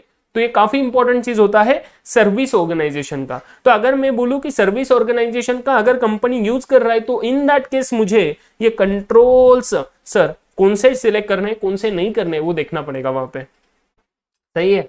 Next performance of the control as a support to major control addition to the other control और combined तो मैंने अभी बोला ना कि S one control C one and C two कि सी टू जो रहता है भाई वो सपोर्ट के लिए है सिर्फ़। ये प्राइमरी कंट्रोल नहीं है सिर्फ़ सी वन को सपोर्ट कर रहा है। तो ऐसे कंट्रोल को टेस्ट करने की ज़रूरत है क्या? नहीं सर तो ऐसे कंट्रोल को टेस्ट नहीं किया तो भी चलेगा, आप सिर्फ़ सी वन को टेस्ट कर लो। अगर सी वन में कुछ झोल मिला डिफिशियंसी मिला तो फिर सी टू को देख सकते हो। समझे? क्लियर तो ये होता है बेटा आपके एग्जामिनेशन के लिए अगेन एक नेक्स्ट इंपॉर्टेंट क्वेश्चन कौन से कौन से इरिलेवेंट कंट्रोल्स होते हैं? जैसे मैंने आपको बताया certain operational controls like budgeting का control which does not have the direct impact on the financial statement ये एक इररिलेवेंट कंट्रोल है। ये टेस्ट करने की ज़रूरत नहीं स्टैट ऑडिटर को। Then controls over the excessive use of material inventory के इन्वेंट्री का ज़्यादा यूज़ हो रहा है सर मतलब ज़्यादा कॉस्ट लग रहा है। तो अपने को क्या फ़र्क पड़ता है सर ज़्यादा यूज़ हो रहा है। इफिशियंसी नहीं है सर काम में। इफिशियंसी नहीं है। फिर अगर इसका मटेरियल इंपैक्ट आएगा कंपनी के एग्जिस्टेंस पे तो देन अपन देखेंगे। बट अपने को देखना पड़ेगा मटेरियल है या नहीं है। बट कंट्रोल टेस्ट करने की ज़रूरत है क्या? नहीं। ये कौन देखेगा? ये इंटरनल ऑडिटर देखेगा। इंटरनल ऑडिटर देखेगा। Then generally are not the relevant control सही है? तो मैंने बोला कभी कभी अगर इसके वजह से मटेरियल इंपैक्ट आता है तो फिर स्टेचुटरी ऑडिटर देखेगा। बट जनरली ये रिलेवेंट कंट्रोल नहीं रहते। Look at the general word generally relevant नहीं रहते। ठीक है? चलो नेक्स्ट ये हुआ बेटा काफ़ी इंपॉर्टेंट पॉइंट आपके लिए। आई होप गाइज़ अभी तक आपको एकदम अच्छे से रिवाइज हो गया है। ठीक है ना? चलो। चलो बेटा नेक्स्ट पॉइंट करेंगे बात अपन। Controls over the completeness and accuracy of IPE और source know what is your IPE IPE का मतलब होता है information provided by entity IPE का फुल फॉर्म लिख लो। इंफॉर्मेशन प्रोवाइडेड बाई एंटिटी और सोर्स डेटा तो अगर आपको याद है ऐसे 500 का जब हम ऑडिट एविडेंस का रिविजन कर रहे थे तो चैप्टर नंबर थ्री में तो अगर किसी ने आपने नहीं देखा है चैप्टर नंबर थ्री का रिवीजन तो उसमें कवर हो जाएगा। चैप्टर थ्री का रिवीजन ऑलरेडी अवेलेबल है यूट्यूब चैनल पे मेरे। सही है? चलो बेटा तो मैंने आपको वहीं पे बताया था कि जब हम रिलेवेंस एंड रिलायबिलिटी का टेस्टिंग करते हैं in order to identify the sufficiency and appropriateness of audit evidence सही है? तो रिलेवेंस एंड रिलायबिलिटी में रिलायबिलिटी किस पे डिपेंड करता है? वन ऑफ़ द पॉइंट रहता है completeness and accuracy of source data सही है? वहाँ पे मैंने आपको एक एग्जांपल दिया था कि डेटा सेजिंग रिपोर्ट हम सिस्टम से लेंगे। अभी वो डेटा सेजिंग रिपोर्ट अगर मैं उस बेसिस पे कोई कंट्रोल्स का परफॉर्मेंस हो रहा है तो भैया वो डेटा सेजिंग रिपोर्ट ही सही है या नहीं है वो देखना पड़ेगा। तो डेटा सेजिंग रिपोर्ट बनता कहाँ से है सर जब जैसा मेरा सेल्स ट्रांजेक्शन मूव होएगा, जिसे मेरे सेल्स ट्रांजेक्शन एंटिटी के रिकॉर्ड होंगे, उसके ऊपर डेटा सेजिंग रिपोर्ट बनेगा उस बेसिस पे। एंड डेटा सेजिंग रिपोर्ट के लिए वो सोर्स डेटा बनेगा सेल्स ट्रांजेक्शन का। तो अगर सेल्स ट्रांजेक्शन से कंप्लीट नहीं है तो कैसे मेरा डेटा सेजिंग रिपोर्ट कंप्लीट होने वाला है? और सेल्स ट्रांजेक्शन कंप्लीट है मान लो बट एक्यूरेट नहीं है तो कैसे मेरा डेटा सेजिंग रिपोर्ट एक्यूरेट रहेगा ना? तो now we need to check completeness and accuracy of the sales transaction उसके बाद सर हम डेटा सेजिंग रिपोर्ट का टेस्टिंग करेंगे, समझे? तो this is what your testing over what completeness and accuracy of the IPE और द सोर्स डेटा अभी IP and source data में दोनों में थोड़ा डिफरेंस होता है। सोर्स डेटा मतलब हम किस पर्सपेक्टिव से यूज़ कर रहे हैं कि जो भी हम यूज़ कर रहे हैं, उसका सोर्स क्या है। अभी उस सोर्स का कंप्लीटनेस एंड एक्यूरेसी चेक करो, जो मैंने आपको एग्जांपल बोला डेटा सेजिंग रिपोर्ट के लिए सेल्स का ट्रांजेक्शन बट जब मैं बोलू आईपीई तो IPE is the every every damn thing which is provided by the entity for the purpose of audit. तो एंटिटी ने मुझे कोई जनरल लेजर एक्सट्रैक्ट दे दिया जीएल का एक्सट्रैक्ट दिया जनरल लेजर का एक्सट्रैक्ट दिया ट्रांजेक्शन्स दिख रहे दैट इज़ ऑल्सो आईपी अभी वो जनरल लेजर का एक्सट्रैक्ट मुझे देखना पड़ेगा कंप्लीट है या एक्यूरेट है क्या? बिकॉज़ अगर वो इनकम्प्लीट रहा तो कैसे मैं ऑडिट करूँगा सही से? अगर वो कंप्लीट रहा बट एक्यूरेट नहीं रहा तो कैसे मैं ऑडिट करूँगा? तो I need to test the completeness and accuracy of every damn thing that is provided by the entity to me for the purpose of audit. सही है? लॉजिकल है? बिकॉज़ मैं ऑडिट करूँगा तो भाई वो कंप्लीट एंड एक्यूरेट होना चाहिए और वो मुझे चेक करना पड़ेगा। मैनेजमेंट को पूछूँगा, वो बोल देंगे, हे सर कंप्लीट है। उन पर रिलाई कर सकते क्या? नहीं। अपने को चेक करके देखना पड़ेगा। तो how we will check the completeness and accuracy completeness के लिए हम देखेंगे कि वो मेरे फाइनेंशियल स्टेटमेंट्स के जनरल लेजर के टीबी के साथ मैच कर रहा है क्या? तो मैंने बोला, कोई मैंने जनरल लेजर मांगा one two three four GL का। One two three four GL is the GL code सही है? अभी ये जीएल कोड का मैंने उनसे एक्सट्रैक्ट मांगा, उन्होंने मुझे कोई एक्सट्रैक्ट दिया इसका मुझे कंप्लीटनेस देखना है। अभी इसका कंप्लीटनेस के लिए देखूँगा, ये टेबल ये जो एक्सट्रैक्ट दिया इसका टोटल कितना आता है अमाउंट का? वो टोटल मेरे ट्रायल बैलेंस से मैच हो रहा है कि जिस ट्रायल बैलेंस से मेरा फाइनेंशियल स्टेटमेंट बना है कंपनी का। सही है? अगर वो मैच होता है तो मेरा कंप्लीटनेस है। सर अगर कॉम्पेंसेटिंग इफ़ेक्ट रहा और मैच नहीं हुआ तो तो वो तुझे आइडेंटिफाई करना पड़ेगा बाई परफॉर्मिंग एनालिटिकल प्रोसीजर फिर मंथली वरायंस एनालिसिस कर दे मंथली बेसिस पे कुछ पीवोट टेबल लगा दे एक्सेल में। सही है। वैसी चीज़ें करके आप परफॉर्म करोगे। नेक्स्ट चीज़ सर कंप्लीटनेस चेक कर लिया कंप्लीट है सर बट अभी एक्यूरेसी कैसे टेस्ट करेंगे? तो जो भी एक्सट्रैक्ट मिला, उसमें से कोई भी एक ट्रांजेक्शन उठा ले एंड उसके सपोर्टिंग डॉक्यूमेंट्स चेक कर ले तू कि वो ट्रांजेक्शन का सपोर्टिंग डॉक्यूमेंट्स है, वो ट्रांजेक्शन का डेटा सिस्टम में जो था रिपोर्ट में जो है, वो मैच हो रहा है क्या? अगर हो रहा है तो सैंपल बेसिस पे तूने इंश्योर कर लिया कि एक्यूरेसी है। तो अगर वो एक एक्यूरेट है तो तू मान लेगा कि बाकी सभी एक्यूरेट है। समझे? तो you need to derive certain samples and samples के बेसिस पे सर तू टेस्टिंग करेगा, वो टेस्टिंग सही निकला तो तू मान लेगा कि बाकी सब सही है। ऐसे 530 ऑडिट सैम्पलिंग सही है क्लियर विद दिस अभी ये सैंपल्स कैसे डिराइव करेंगे, कौन सा मेथड यूज़ करेंगे, ये सब हम देखेंगे ऐसे 530 के रिवीजन में। अभी यहाँ पे टाइम लूँगा तो फिर खत्म ही नहीं होगा ये chapter because audit is almost everything is interrelated मैं पूरा ऑडिट एक साथ में भी बोल सकता हूँ आपको सभी चैप्टर्स को ये करके। बट अपने को टाइम उसका लिमिटेशन सही है? चलो तो ये आईपीई एंड सोर्स का मुझे अगर कंप्लीटनेस एंड एक्यूरेसी टेस्ट करना है तो उसके बेसिस पे क्या क्या कंट्रोल से एंटिटी के वो देखने पड़ेंगे। तो ensure the completeness and accuracy तो मैंने बोला कि data seizing report the source data sales transaction इसका कंप्लीटनेस एंड एक्यूरेसी में टेस्ट करूँगा। बट अभी एंटिटी के वो कंप्लीटनेस एंड एक्यूरेसी के लिए क्या कंट्रोल्स है? अगर वो कंट्रोल सही चल रहे तो फिर मेरे मेरे मेरे लिए तो सही बात है ना। और वो मैंने कंट्रोल्स चेक कर लिए तो अच्छी बात है, खत्म। फिर मैं डायरेक्टली रिलेवेंट मतलब रिलाई कर सकता हूँ डेटा सीजिंग रिपोर्ट पे। तो what I need to check controls sales के कंप्लीटनेस एंड एक्यूरेसी पे कंट्रोल्स क्या है, वो कंट्रोल सही से है क्या? वो अगर टेस्ट करके हो गए, वो सही पता लगे, उसमें कोई डिफिशियंसी नहीं है तो I can rely on the data seizing report and work on my audit procedure चलो, ठीक है? यहाँ पे मैंने एक बड़ा एग्जांपल दिया है, जो मैंने रेगुलर क्लास में बहुत डिटेल में एक्सप्लेन करता हूँ। अगर एक्सप्लेन कर लिया तो अभी डेढ़ घंटा चला जाएगा। सो मैं एग्ज़ाम्पल एक्सप्लेन नहीं करूँगा। अभी जो मैंने आपको एग्जांपल दिया, वो एग्जाम्पल्स आप कंसिडर कर सकते हो। ठीक है?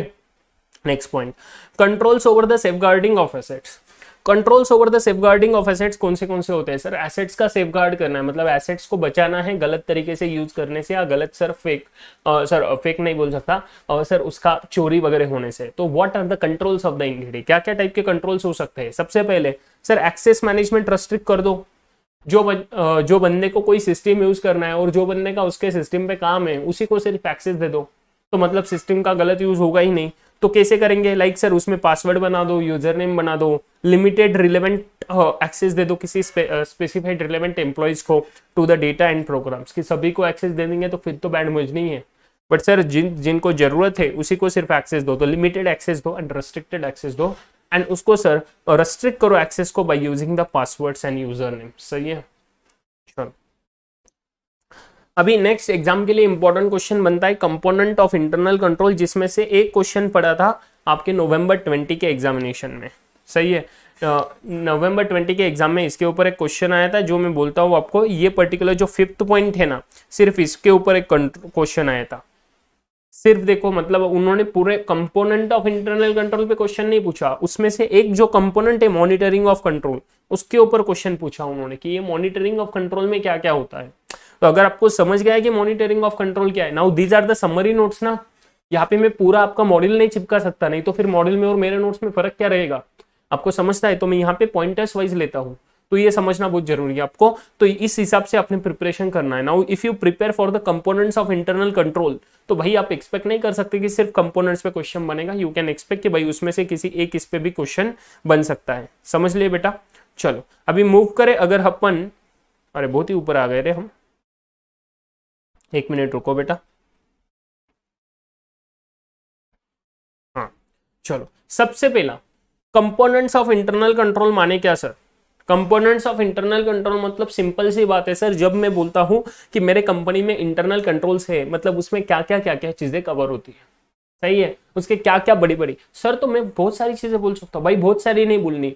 वो बहुत सारी चीज़ों के ग्रुप्स बना। ग्रुप्स बना और हर एक ग्रुप बता और ऐसे पाँच ग्रुप्स रहते हैं। क्या बोला? ऐसे पाँच ग्रुप्स रहते हैं। पहला group control environment look at this very important thing अभी आपको कंफ्यूजन हो सकता है कंट्रोल इन्वायरमेंट के कंट्रोल के components and then elements of control environment elements of control environment आगे आएगा।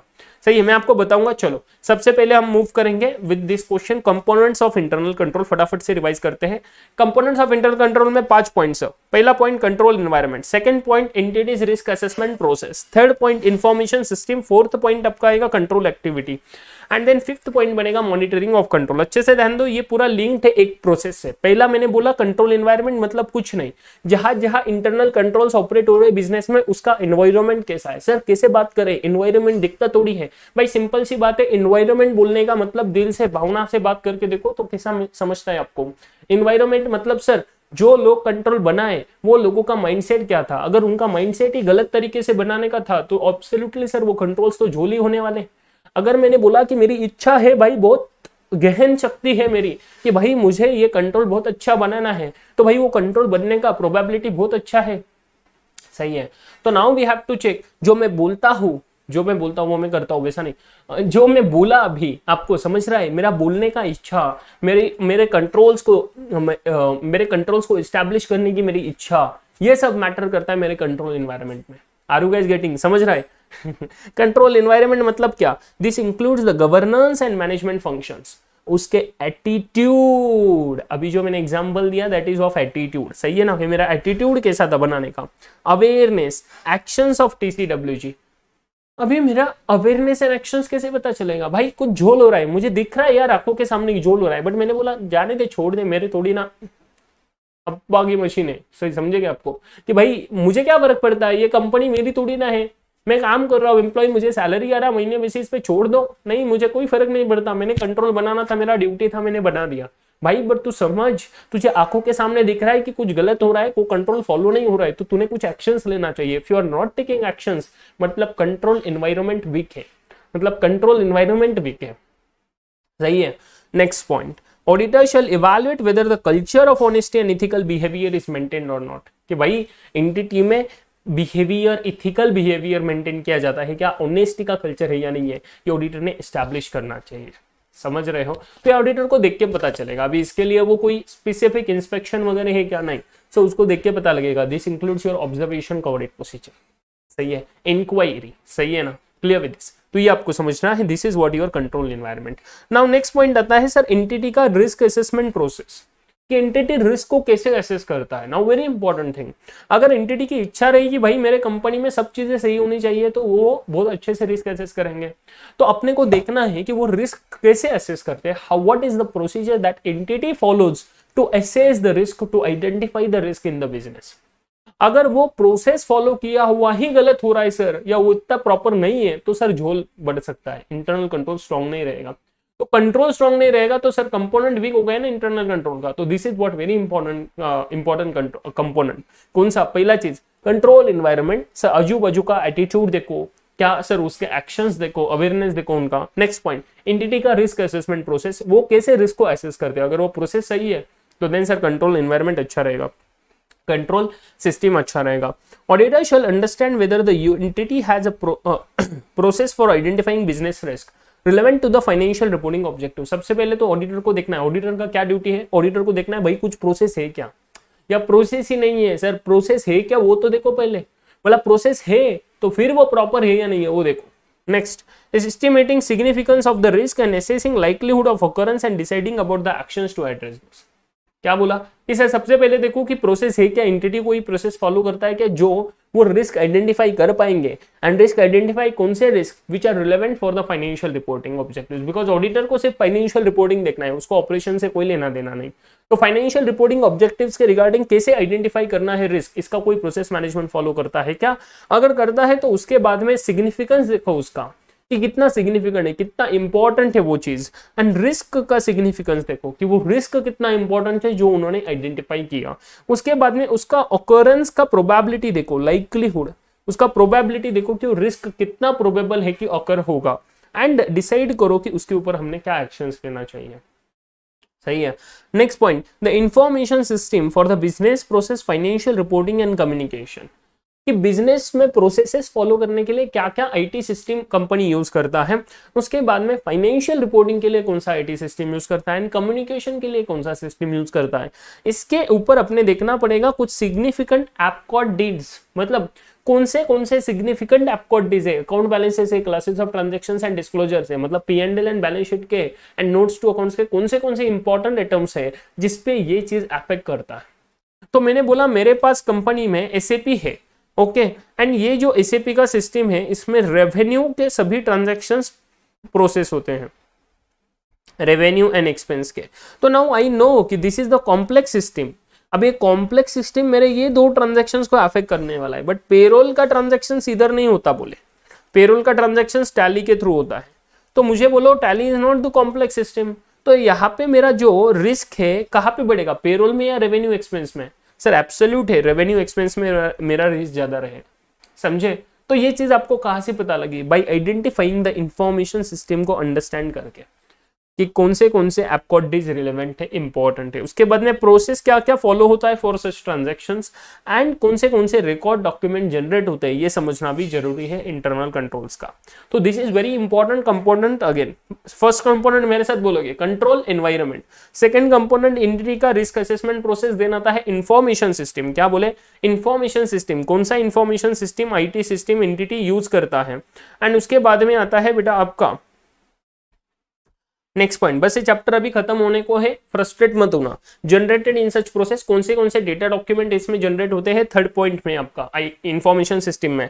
उसके बाद में कौन से फाइनेंशियल रिपोर्टिंग प्रोसेस यूज़ किया जाता है? To prepare and present the financial statement financial statements को बनाने का रिस्पॉन्सिबिलिटी किसका है? वो कैसे बनाते हैं? उसका प्रोसेस क्या फॉलो करता है? वो भी आइडेंटिफाई करेंगे। And control surrounding the general entries ये सब चीज़ें किसमें आएँगी? Information system for business processes financial reporting and communication समझ लिए, ये पूरा चीज़ एक इसमें आने वाला है। बहुत इंपॉर्टेंट पॉइंट होता है ये स्टेचुटरी ऑडिटर पर्सपेक्टिव से बिकॉज़ ये फाइनेंशियल स्टेटमेंट को मेजरली अफेक्ट करता है।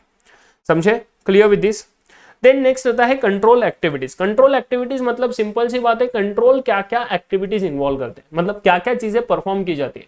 कौन सी कौन सी एक्टिविटी मैनेजमेंट परफॉर्म करता है in order to establish that control वो होते हैं कंट्रोल एक्टिविटीज़ तो पहला control activity sir authorization is the control activity की ऑथोराइज करना। देन सर उसके बाद में परफॉर्मेंस रिव्यूज़ तो मतलब पीरियोडिक बेसिस पे कैसे सर कंट्रोल परफॉर्म हो रहे, उसका रिव्यू करना भी बहुत इंपॉर्टेंट एक्टिविटी है. बिकॉज़ सर अगर रिव्यू कर रहे हो तो इंडिकेट कर रहा है कि आपको बहुत इच्छा है कि आपके कंट्रोल अच्छे से परफॉर्म हो.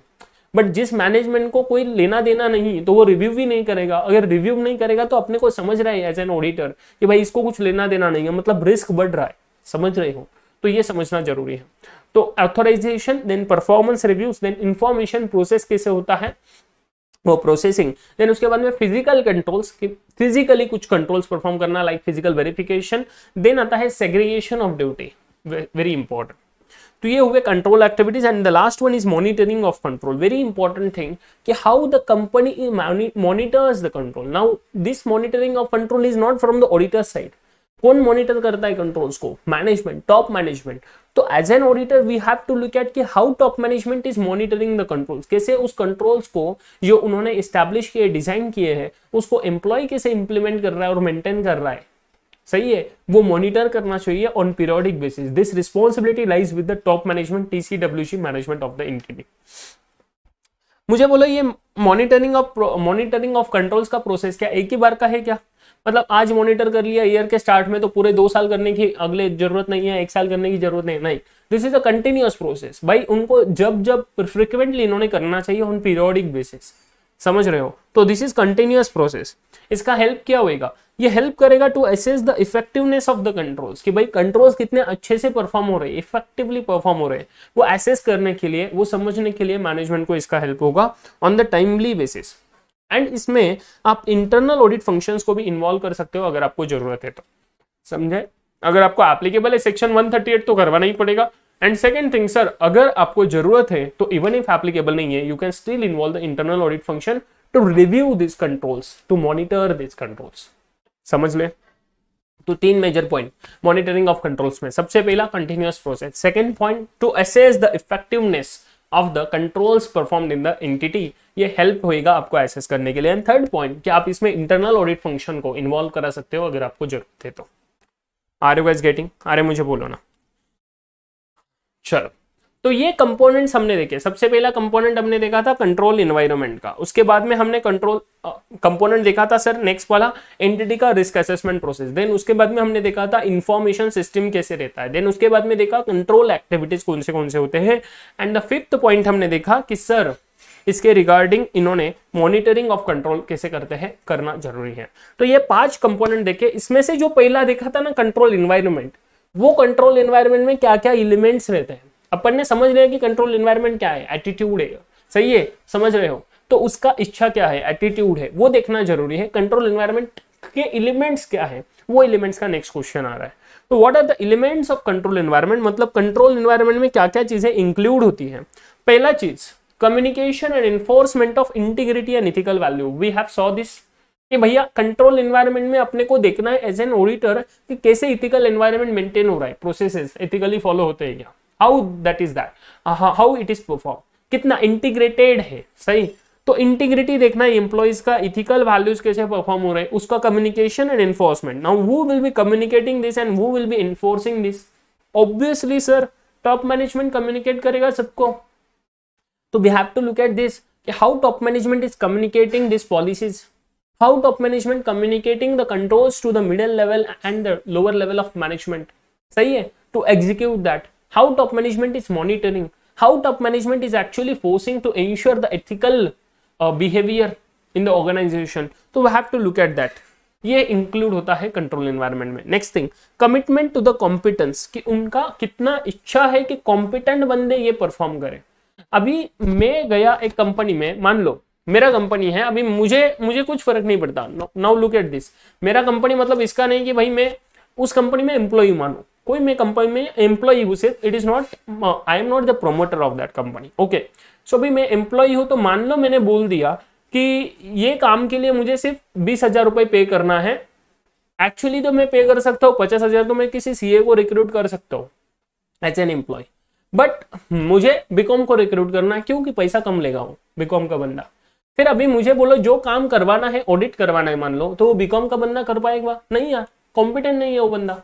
तो I should recruit C A chartered accountant अगर सर मैं कॉम्पिटेंस को ध्यान ही ना दू तो ये क्या करेगा? ये मेरे बिज़नेस की बैंड बचा देगा। मेरे कंट्रोल इन्वायरमेंट की बैंड बचा देगा। And that's why how I am looking that competence competence को मैं कितना सर इज़्ज़त दे रहा हूँ, वो देखना ज़रूरी है। And this is what involve in your competitive sorry control का एनवायरमेंट समझ रहे हो?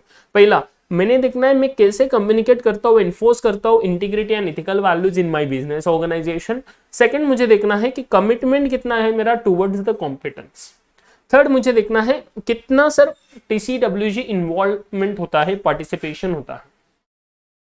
मतलब मैं अभी एज एन ऑडिटर बात कर लू अभी मैं ऑडिटर करके देखू, मैं जब ऑडिट कर रहा हूँ तो मुझे देखना है कंट्रोल इन्वायरमेंट कैसे काम करता है इनका.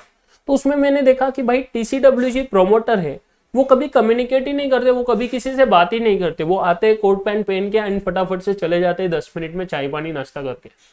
तो सर, अपने को पता ही है कि भाई ये इन्वायरमेंट में TCW is not taking active participation in to maintain that environment basically समझ रहे हो? तो अगर sir lower level of employees and middle level of management को पता ही नहीं कि how their boss how that partner basically how that promoter is expecting from their side सही है? कैसे एक्सपेक्ट कर रही है? उनको पता ही नहीं चलेगा जब तक वो कम्युनिकेट नहीं करेंगे। तो this is very important thing कि how TCWG how top management is taking active participation to maintain this ethical behavior, to maintain the control environment strong, to maintain the control system in flow. समझ रहे हो? तो participation by TCWG independence of those experience and extent of involvement अपन ने जब बात की वो इस पॉइंट पे की एक्सटेंट ऑफ़ इन्वॉल्वमेंट अभी उनका एक्सपीरियंस कितना है इंडिपेंडेंस कितना है, वो अपने को देखना पड़ेगा as an auditor then management philosophy and operating style ये तो भाई दिख के पता लग जाता है। बहुत केयरलेस बंदा है, जो एमडी के चेयर पे बैठा है, कुछ काम नहीं करता। Operating style we already know by observing we can check out this and how what is his philosophy? So, when we go to discuss with him in his cabin तो late से उसके केबिन में मैं जाके बात कर रहा हूँ उनसे और मुझे पता लग रहा है कि भाई ये बंदा तो बहुत अलग ही तरह का है। मतलब ये बंदा जिस वे में सोचता है, अगर उसने इस बिज़नेस में इसे अप्लाई कर रहा है तो भाई बिज़नेस की बैंड बजनी है तो we will be able to understand the philosophy will be able to understand his operating style and ये एक मेजर पार्ट करता है आपके कंट्रोल एनवायरमेंट में। तो अगर मुझे कोई झोल लगा इस पर्टिकुलर चीज़ में तो मुझे क्या पता लगेगा कि मेरा कंट्रोल एनवायरमेंट वीक पड़ रहा है। अगर कंट्रोल इन्वायरमेंट वीक है तो मेरा इंटरनल कंट्रोल सिस्टम उस बिज़नेस का वीक रहेगा। समझ रहे हो। एंड इंटरनल कंट्रोल सिस्टम अगर मुझे वीक लग रहा है तो भाई मेरा रिलायंस ऑन कंट्रोल्स कम हो जाएगा। मैं कम रिलाई करूँगा ज़्यादा रिलाई नहीं कर पाऊँगा। नेक्स्ट पॉइंट ऑर्गेनाइजेशन स्ट्रक्चर कैसा है? कितना ज़्यादा ऑर्गेनाइजेशन स्ट्रक्चर है? बड़ा है छोटा है? कैसे? वो मैटर करेगा। Then assignment of authority and responsibility how the company is assigning the authorities and responsibilities to different different employees this is what matters in control environment. And the last point hr policies and practices. How the human resource are actually recruited कैसे H के बंदे recruit करते हैं, उनके policies क्या है practices क्या है, कितने रूड है, कितने अच्छे तरीके से करते हैं। सही है, वो सब चीज़ें मैटर करेगी कंट्रोल एनवायरमेंट में। समझ रहे हो? तो these are what your elements of control environment I hope guys you are very much clear with this है ना? इंपॉर्टेंट पार्ट है, अच्छे से ध्यान में रखोगे। ना नेक्स्ट पॉइंट पे आपको यूजुअली एमसीक्यू आने का बहुत प्रोबेबिलिटी है कि इवेल्युएशन ऑफ़ इंटरनल कंट्रोल कि इंटरनल कंट्रोल्स को कैसे इवेल्युएट करोगे? यूजिंग फोर थिंग्स जब जब भी आप इंटरनल कंट्रोल्स को इवेल्युएट करोगे तो चार चीज़ें आपके लिए मैटर करती है और चार चीज़ों का आप यूज़ करोगे। सबसे पहली चीज़ जिसका आप यूज़ करोगे, उसको बोलते हैं नैरेटिव रिकॉर्ड नैरेटिव रिकॉर्ड कुछ नहीं, भाई सिंपल सी बात है। जो भी कंपनी का प्रोसेस है, वो प्रोसेस का डिटेल्ड डिस्क्रिप्शन मतलब पूरा सर डिटेल एकदम चिट्ठा। कि कैसे प्रोसेस परफॉर्म होगा, एकदम डिटेल में डिस्क्राइब किया हुआ है। वो है narrative record what is narrative record detailed description of the procedure but sir इतना डिटेल पढ़ने की इच्छा नहीं होती। चालीस पेज का सर एक प्रोसेस है पूरा रेवेन्यू का। कैसे पढ़ेगा कोई बंदा? बोर हो जाएगा दो पेजेस पढ़ने के बाद। तो नाउ सर अगर मैं बोलूँ कि मुझे अगर डिटेल में पढ़ना है, क्योंकि मुझे डिटेल में देखना है कहाँ पे झोल है क्या तो मुझे नैरेटिव रिकॉर्ड बहुत काम का है। बट मुझे क्विकली समझना है कि प्रोसेस कैसे मूव कर रहा है पहले एंड देन बाद में मैं डिटेल में पढ़ूँगा। तो क्विकली समझने के लिए क्या है सर अपने पास? तो वो है बेटा आपके पास flow chart look at this वो है आपके पास फ्लो चार्ट दो मिनट रुक जाओ कुछ तो जोल हो रहा है। हाँ वो है आपके पास फ्लो चार्ट फ्लो चार्ट क्या होता है? Flow chart is the graphical representation look at this very important thing flow chart is the graphical representation of the process तो मतलब पहले नैरेटिव रिकॉर्ड में डिटेल्ड डिस्क्रिप्शन दे दिया। उसके उसके थ्रू ही सर नैरेटिव रिकॉर्ड के बेस पे ये ग्राफिकल रिप्रेजेंटेशन बनाया कि कुछ छोटे इसमें सर पता लग रहा है कि कहाँ से क्या चीज़ें मूव हो रही तो that graphical representation is very important thing which you can use तो इससे आप प्रोसेस समझोगे एंड देन उसके बाद नैरेटिव रिकॉर्ड में डिटेल अंडरस्टैंडिंग करोगे एंड रिस्क को निकालोगे। Then sir then next point होता है checklist checklist is very common thing आपको समझ आ गया होगा कि चेकलिस्ट नाम से ही क्या होता है। सर ऐसी चीज़ें है कि ये प्रोसेस परफॉर्म करते समय ये पाँच चीज़ें इंश्योर करनी चाहिए उस एम्प्लॉय ने। क्या बोला? ये पाँच चीज़ें इंश्योर करनी चाहिए। अभी ये यूजुअली ऑडिटर के इसमें कैसे काम करता है? देखो ऑडिट फॉर्म में। मैंने बोला कि मैंने रेवेन्यू को ऑडिट करना है। अभी रेवेन्यू के ऑडिट करते समय I need to ensure this five audit procedure I need to perform तो जैसे ही मैं एक एक प्रोसीजर करता जाऊँगा, वैसे मैं इसको टिक करता जाऊँगा कि this is what I have perform ये मैंने परफॉर्म किया, ये मैंने परफॉर्म किया, ये मैंने परफॉर्म किया, ये मैंने परफॉर्म किया। जैसे ही मैंने सब चीज़ें परफॉर्म की तो I go to my manager and मैं उनको बोलता हूँ, सर, मेरा सब चीज़ें हो गई। तो वो चेकलिस्ट मांगेगा, देखेगा क्या क्या तूने परफॉर्म किया कब कब किया। तो इसमें मैं कब परफॉर्म किया, उसका डेट लिख दूँगा, ये सब हुआ चेकलिस्ट वाला। समझ रहे हो? These are the check points to ensure की whatever we suppose to do we have done everything in line with that checklist next thing sir अगर मैं बिज़नेस के एंगल से बात करूँ तो बिज़नेस ऑर्गेनाइजेशन में चेकलिस्ट कैसे काम करता है? तो ये रेवेन्यू का प्रोसेस है जो बिज़नेस ने फॉलो करना है एम्प्लॉयज़ ने फॉलो करना है। सही है। अभी ये प्रोसेस फॉलो करते समय एम्प्लॉय को बोला है, भाई, तुम्हें ये प्रोसेस इन पाँच स्टेप्स में करना है। Step one step two step three step four step five now this is what it will act for them five step का चेकलिस्ट समझ लिए? तो सर देन क्वेश्चन ईयर क्या होता है? क्वेश्चन ईयर एक क्वेश्चन बेस्ड फॉर्म रहता है। क्या रहता है सर उसमें? मैंने बोला, सर, एक कोई ऐसा फॉर्म है, जहाँ पे मैं बोला कि इंडेस का, सर, मैं कोई चेकिंग कर रहा हूँ, मुझे इंफॉर्मेशन चाहिए उनके तरफ़ से। तो मैं इंक्वायरी को ऑडिट प्रोसीजर करने गया। अभी ये क्वेश्चन ईयर कौन किसको देता है? ये यूजुअली सर, देता है auditor to the management auditor देता है मैनेजमेंट को। Auditor will give this checklist to management क्यों सर अभी मुझे इंडेस के कंप्लायंस के ऊपर इनसे कुछ सर क्वेश्चंस पूछने हैं। तो I go to them and ask the questions but sir उसके बजाय मैं क्या करूँ? मेरा टाइम चला जाएगा, वो भी टाइम तो मैं उनको पहले क्वेश्चनियर देता हूँ, जहाँ पे मैं उनको कुछ क्वेश्चंस पूछूँगा। One two three four five ऐसे कुछ सर क्वेश्चंस का लिस्ट है, जिसमें वो एस नो करके दे देंगे, ये उनको एप्लीकेबल है, ये नहीं है ऐसा वैसा एंड देन उसके बाद में सर उसको वो थोड़ा ब्रीफली करेंगे, जहाँ पर भी ज़रूरत रहेगी रीजंस के साथ वगैरह। And then based on that I can take a further call and discuss with the management ये होता है क्वेश्चन ईयर ये हुआ क्वेश्चन ईयर समझे? Clear with this are you guys clear with this तो चेकलिस्ट वगैरह क्या होता है, समझा आपको? तो ये चार चीज़ों के बेसिस पे आप इंटरनल कंट्रोल्स को इवेल्युएट करते हो। पहला चीज़ narrative record then checklist then questionnaire then flow chart flow chart से आप समझ लोगे कि एक ओवरऑल गो थ्रू कर लोगे प्रोसेस का। देन डिटेल डिस्क्रिप्शन से आप पूरा डिटेल में समझोगे। उसके बाद में आप क्वेश्चन ईयर पूछोगे, जो भी क्वेश्चन आपको पूछने मैनेजमेंट को और समझने के लिए वो क्वेश्चन ईयर के थ्रू आप पूछोगे।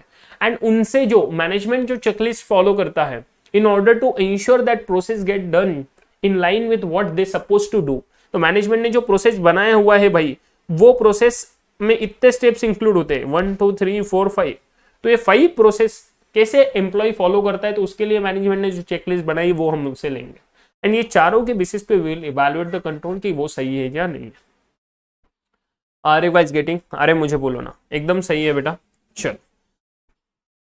नेक्स्ट पॉइंट अभी हम पढ़ेंगे benefits of IT in the entities internal control very very common question है, एकदम एकदम इज़्ज़त, एकदम इजी क्वेश्चन है कि सर आईटी का क्या क्या बेनिफिट होता है इंटिटी के इंटरनल कंट्रोल में? सर सिंपल बात है आईटी के वजह से बहुत सारे वॉल्यूम ऑफ़ ट्रांजेक्शन को हम एकदम इजीली सिंपली सर प्रोसेस कर पाएँगे। देन टाइम कम लगेगा अवेलेबिलिटी बहुत बार रहेगा सर। जहाँ पर भी जाओ sir I be able to access that data accuracy बहुत ज़्यादा रहेगा। इवन इफ़ सर उसमें ह्यूमन इन्वॉल्वमेंट है अगर ह्यूमन ने इनपुट दे दिया तो आउटपुट तो सही निकलना है। इनपुट सही रहेगा तो। देन उसके बाद में एडिशनल एनालिसिस कर पाएँगे। बिकॉज़ अगर आप एक्सेल में कोई टेबल बनाओ टेबल के बेसिस पे pivot table graphs you can make up thousands of things है ना? तो उसमें बहुत सारी चीज़ें आप कर सकते हो। देन सर आप परफॉर्मेंस आइडेंटिफाई कर पाओगे मॉनिटर कर पाओगे एंटिटी का। So enhance the ability to monitor the performance of entities activities and policies and procedure कैसे काम कर रहे हैं? Then reduce the risk that the controls will be circumvented circumvented मतलब कंट्रोल्स फॉलो नहीं होंगे। इसका रिस्क सर कम किया, कम होगा। बिकॉज़ सिस्टम ने अगर एक बार बोला है कि भाई ये चीज़ करनी है तो करनी है, खत्म।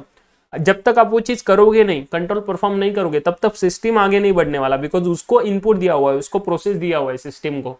तो सिस्टम में अगर वो चीज़ करना ही है तो करना पड़ेगा। Otherwise you can not move I it है ना next thing sir effective segregation of duty कर पाएँगे through the security controls because मुझे अगर पूरे प्रोसेस को बाइफकेट करना है चार पर्सन में तो सर यहाँ पे जब तक कोई बंदा एक पर्सन ये यहाँ पे इसको इसको, इसका ही एक्सेस रहेगा, पहले इसका। उसको सेकेंड थर्ड एंड फोर्थ का एक्सेस नहीं रहेगा। क्यों? बिकॉज़ हर एक सिस्टम को अलग यूज़र नेम एंड पासवर्ड है, जो उन बंदों को ही एप्लीकेबल रहेगा। तो यहाँ पर इफ़ेक्टिव एसओडी कर रहे हैं सर हम। क्यों? Because using this system using this system तो ये फ़ायदा होगा सर। इसीलिए ये आईटी का बेनिफिट काफ़ी ज़्यादा होगा जब इंटिटी को इंटरनल कंट्रोल सिस्टम को स्ट्रॉन्ग करना है बिज़नेस में। आर यू गेटिंग अरे मुझे बोलो ना। ये रिस्क वाले जो दो क्वेश्चन थे बीच में वो क्वेश्चन ऑलरेडी अपन पहले पार्ट में कवर कर चुके हैं। अभी बढ़ेंगे हम almost last part section 138 internal audit internal audit काफ़ी इजी है बेटा। अभी ये ध्यान रख लो इंटरनल ऑडिट किसको एप्लीकेबल होता है? ये लिमिट्स याद रखने पड़ेंगे। अच्छे से ध्यान रखो। एकदम इजी लिमिट है याद रखने के लिए मैंने आपको बोला है। सबसे पहले सेक्शन 138 बात करता है इंटरनल ऑडिट के रिगार्डिंग किन किन को मैंडेटर रहेगा उसके बारे में। नेक्स्ट इंटरनल ऑडिटर किन किन ने रखना है? सबसे पहले sir listed company mandatory listed company mandatory अभी इसमें ध्यान दो। लिस्टेड कंपनी होने के बाद अनलिस्टेड कंपनीज़ में आपने चार नंबर याद रखने हैं। पच्चीस, पचास, सौ, दो सौ। सर एकदम इजी याद रखने के लिए। कैसे? पच्चीस लिया। पहले बेस याद रखो। उसका डबल करो पचास। उसका डबल करो सौ। उसका डबल करो दो सौ। समझ लिए? चलो। सर पच्चीस माने क्या? पच्चीस करोड़। पच्चीस करोड़। सब नंबर्स करोड़ में है। पच्चीस करोड़ मतलब कौन सा? ये होता है आउटस्टैंडिंग डिपॉजिट्स का। ये होता है आउटस्टैंडिंग डिपॉजिट्स का। पचास नंबर किसका? पचास करोड़। ये होता है पेड अप शेयर कैपिटल का। सौ करोड़ माने बोरोविंग्स का। और सबसे बड़ा नंबर जो रहता है वो रहेगा आपका टर्नओवर का। ठीक है? अभी नेक्स्ट पॉइंट आता है। जब भी हम ये चीज़ें लेंगे तो इसमें everything will be your more than equal to only except borrowing. Borrowing के केस में सिर्फ़ वो मोर देन रहेगा, मोर देन हंड्रेड करोड़। बाकी सब चीज़ों में वो मोर देन इक्वल टू रहेगा। समझ लिया आपने? बोरोविंग छोड़ के सभी चीज़ों में मोर देन इक्वल टू रहेगा, सिर्फ़ आपको इसमें बोरोविंग में लोन्स एंड बोरोविंग्स में क्या रहेगा? मोर देन रहेगा। मतलब सर अगर मैं बोलूँ किसी कंपनी का बोरोविंग होगा या 101 करोड़ 101 करोड़ तो इन दैट केस उनको internal audit applicable yes sir but sir अगर एग्जैक्टली exactly उनका 100 करोड़ रहा तो तो internal audit is not applicable क्यों? Because all this condition are और इसमें से कोई भी एक कंडीशन फुलफिल हो गया है तो इंटरनल ऑडिट एप्लीकेबल है। तो सर जब मैं बोलूँ इनका बोरोविंग सौ करोड़ का था बट सर बाकी कोई भी कंडीशन फुलफिल नहीं हो रहा है तो अच्छी बात है internal audit not applicable but borrowing सौ करोड़ का है बट पेडअप शेयर कैपिटल पचास करोड़ है उसके ऊपर चला गया तो चलेगा सर तो इंटरनल ऑडिट एप्लीकेबल हो जाएगा। और टर्नओवर 200 करोड़ और उसके ऊपर हो गया तो एप्लीकेबल हो जाएगा। अभी ये सब चीज़ें कब की देखनी है आपने को देखनी है प्रीसीडिंग फाइनेंशियल ईयर मतलब पिछले साल की। अगर आपको इंटरनल ऑडिट का एप्लीकेबिलिटी निकालना है 2021-22 फाइनेंशियल ईयर के लिए। F Y twenty one twenty two के लिए देख रहे हो इंटरनल ऑडिट एप्लीकेबल है या नहीं है। इंटरनल ऑडिटर अपॉइंट करना। तो आपको देखना पड़ेगा ये सब limits of twenty twenty two twenty two twenty one F Y twenty two twenty one देखना पड़ेगा। एंड जब मैं बोलूँ, मैं बैलेंस शीट के कुछ आइटम्स देखूँगा मतलब सर डिपॉजिट्स उसके बाद में paid up share capital borrowings तो ये मुझे देखना पड़ेगा as on this thirty first March समझ रहे हो? एंड वेरी इंपॉर्टेंट टाइम जब मैं डिपॉजिट्स देखूँगा पेडअप शेयर कैपिटल तो मैं 31 मार्च का देख लूँगा बट जब मैं डिपॉजिट्स और बोरोविंग्स देखूँगा तो ये डिपॉजिट्स एंड बोरोविंग्स के लिए मुझे सिर्फ़ 31 मार्च का नहीं देखना है during the year at any point of time इतने सब पॉइंट्स आप याद रखोगे। During the year at any point of time मतलब सर 31 मार्च को लिमिट एक्सीड नहीं हो रहा।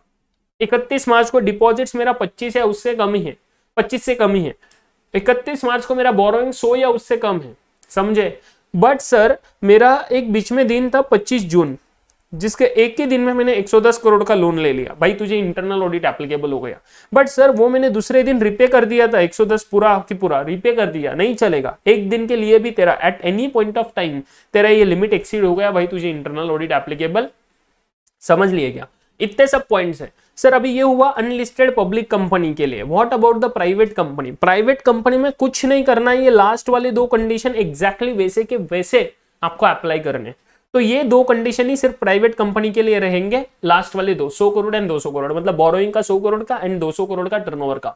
मोर देन इक्वल टू दो सौ crore turnover and more than सिर्फ़ एक्सीडिंग हंड्रेड करोड़ बोरोइंग समझ लिए?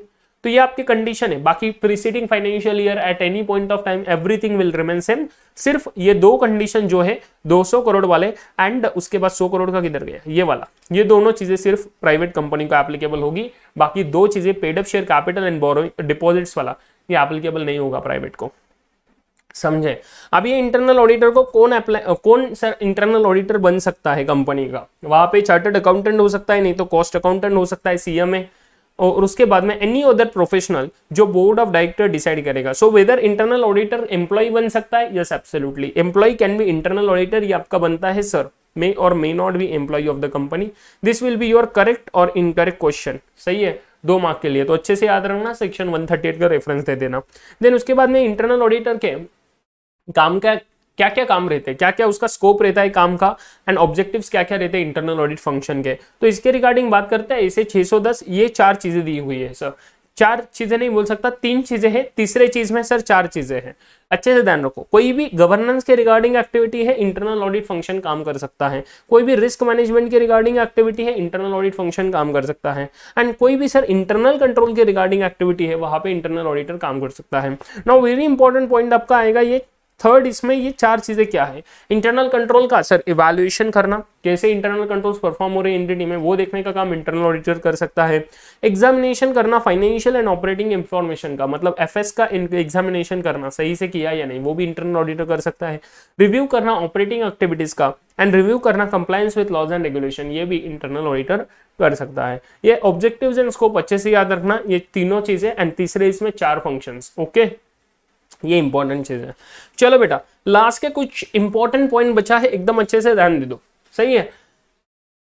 आईएफसी इंटरनल फाइनेंशियल कंट्रोल जिसके रिगार्डिंग मैंने बात की आपको, कोई स्पेसिफाइड क्लास ऑफ़ कंपनीज़ को, जो अकॉर्डिंग टू सेक्शन 143 सबसेक्शन 3 उसके हिसाब से कोई स्पेसिफिक ऑडिटर को मतलब स्पेसिफिक क्लास ऑफ़ कंपनीज़ में सर ऑडिट रिपोर्ट में इसका स्पेसिफिक ओपिनियन देना मैंडेटरी हो जाता है कुछ स्पेसिफाइड क्लास ऑफ़ कंपनीज़ को। तो सबसे पहले समझ लेते हैं कि सर ओपिनियन किसके ऊपर रहता है। That opinion is on the I F C internal financial controls तो सर एक बोला जाता है आईसीओएफआर तो इन दोनों में डिफरेंस क्या है? आईएफसी माने इंटरनल फाइनेंशियल कंट्रोल तो सिंपल सी बात है, ये कंट्रोल एक्टिविटीज़ है। कोई कंट्रोल बोलू रेवेन्यू का तो आईएफसी है। बट सर ये कंट्रोल पे ओपिनियन देने का जो रिक्वायरमेंट दिया है सेक्शन 143 सब सेक्शन 3 ने ऑडिटर को, इस रिपोर्टिंग रिक्वायरमेंट को बोलते हैं आईसीओएफआर मतलब internal controls over financial reporting तो सिंपल सी बात है आईएफसी आर द कंट्रोल्स ये कंट्रोल एक्टिविटीज़ हैं, while your reporting requirement is your ICOFR समझे? तो इन दोनों का डिफरेंस का क्वेश्चन भी आपके एग्जामिनेशन में बन सकता है, अच्छे से ध्यान देना। सबसे पहले देख लेते हैं आईएफसी का डेफिनेशन क्या है? According to section 134 subsection 5 clause e of companies act 2013 sir clause वगैरह याद रखने की ज़रूरत बिल्कुल भी नहीं है बेटा, टेंशन मत लो। सिर्फ़ सेक्शन 134 सब क्लॉज अगर आपने सब सेक्शन याद रख लिया फाइव तो भी चलेगा। और सब सेक्शन भी नहीं याद है। सेक्शन 134 याद है तो रख लेना, कोई टेंशन नहीं। मैंने बोला, सर, अगर सेक्शन नंबर भी याद नहीं है तो फिर भी कोई टेंशन लेने का बात नहीं। आपने लैंग्वेज कैसे यूज़ करना एग्जामिनेशन में? अगर आपको सिर्फ़ सेक्शन नंबर याद है 134 तो आपने as per relevant clause and subsection of section 134 as per relevant clause लिख के ले लेना ऑफ़ सेक्शन 134 अगर सर सेक्शन नंबर भी याद नहीं है तो as per relevant section as per relevant provision of the companies act 2013 ऐसे आप लिखोगे, समझे? As per relevant provision of the companies act 2013 sir ये एप्लीकेबल होता है। आर यू गाइस गेटिंग अरे समझ रहा है क्या आपको? एज पर रिलेवेंट प्रोविज़न तो सबसे पहले as per relevant clause of section 134 of the companies act of the companies act वो ऐसे लिखोगे 2013 एंड सर नीचे, अगर आपको सेक्शन नंबर याद नहीं तो as per relevant provision of the companies act 2013 then आगे प्रोविज़न लिख दोगे। प्रोविज़न लिखना ज़रूरी है। सही है? क्लियर विद दिस वो नहीं बोल सकते कि, सर, वो याद नहीं फिर मार्क गवाने पड़ेंगे। चलो। अभी ये प्रोविज़न डेफिनेशन देख लो। सर इंटरनल फाइनेंशियल कंट्रोल मैंने आपको बता दिया कंट्रोल प्रोसीजर्स होते हैं कंट्रोल एक्टिविटीज़ होते हैं। तो ये प्रोसीजर्स क्या बोलते हैं? Control procedures these are the policies and procedures which are the adopted by company very first important thing for ensuring orderly and efficient conduct of its business including adherence to the company policies second the safeguarding of assets third prevention and detection of fraud and errors Fourth, the accuracy and completeness of the accounting records. And last one, timely preparation of reliable financial information. तो ये पाँच objectives के साथ sir internal financial controls policies and procedures जो company adopt करता है उसको बोलते हैं आईएफसी क्लियर विद दिस अभी ये एक्सप्लेन करने में टाइम नहीं लगाऊँगा बिकॉज़ एकदम इजी है ये ऑलरेडी अपन कवर कर चुके हैं सही है। अभी सेक्शन 143 सबसेक्शन 3 क्या बोलता है? This requires the auditor reports to state whether the company has adequate internal financial control system in place और not as well as operating effectiveness of control तो मतलब सिर्फ़ डिज़ाइन और इंप्लीमेंटेशन करके मतलब है क्या? नहीं भाई, उसको मेंटेन भी करना पड़ेगा, उसका ओई टेस्टिंग भी अपन करते हैं। पहले वाले पार्ट में मैंने आपको डिटेल में समझाया था यहाँ अभी आई एफ़ सी एंड आईसीओएफआर में क्या क्या डिफरेंस रहता है? I F C is nothing but what the definition as mention तो ये पॉलिसीज़ एंड प्रोसीजर्स है। एंड आर एक रिपोर्टिंग रिक्वायरमेंट है सर ये पॉलिसी प्रोसीजर नहीं बोलता है। उन पॉलिसी प्रोसीजर के ऊपर रिपोर्टिंग करने का requirement section 143 forty subsection three ने जो दिया, उसको बोले सर ICOFR तो this is the reporting requirement to auditor to express an opinion on the effectiveness of an entity's internal control और financial reporting such opinion is in addition to are distinct from the opinion express by the financial statement auditor on the financial statement मतलब जो आप audit report दोगे ना जो इसे 705 का opinion दोगे उसके एडिशन में सर ये ओपिनियन रहेगा। समझ रहे हो? तो ये अकेला सर ऐसा ओपिनियन नहीं है कि जो इसे 705 के हिसाब से आ जाएगा। नो no, 705 का तो फाइनेंशियल स्टेटमेंट का ओपिनियन अलग ही रहेगा ये कंट्रोल्स का ओपिनियन अलग रहेगा आईएफसी का। समझे? बिकॉज़ आईएफसी का ओपिनियन सबको एप्लीकेबल है क्या? नहीं।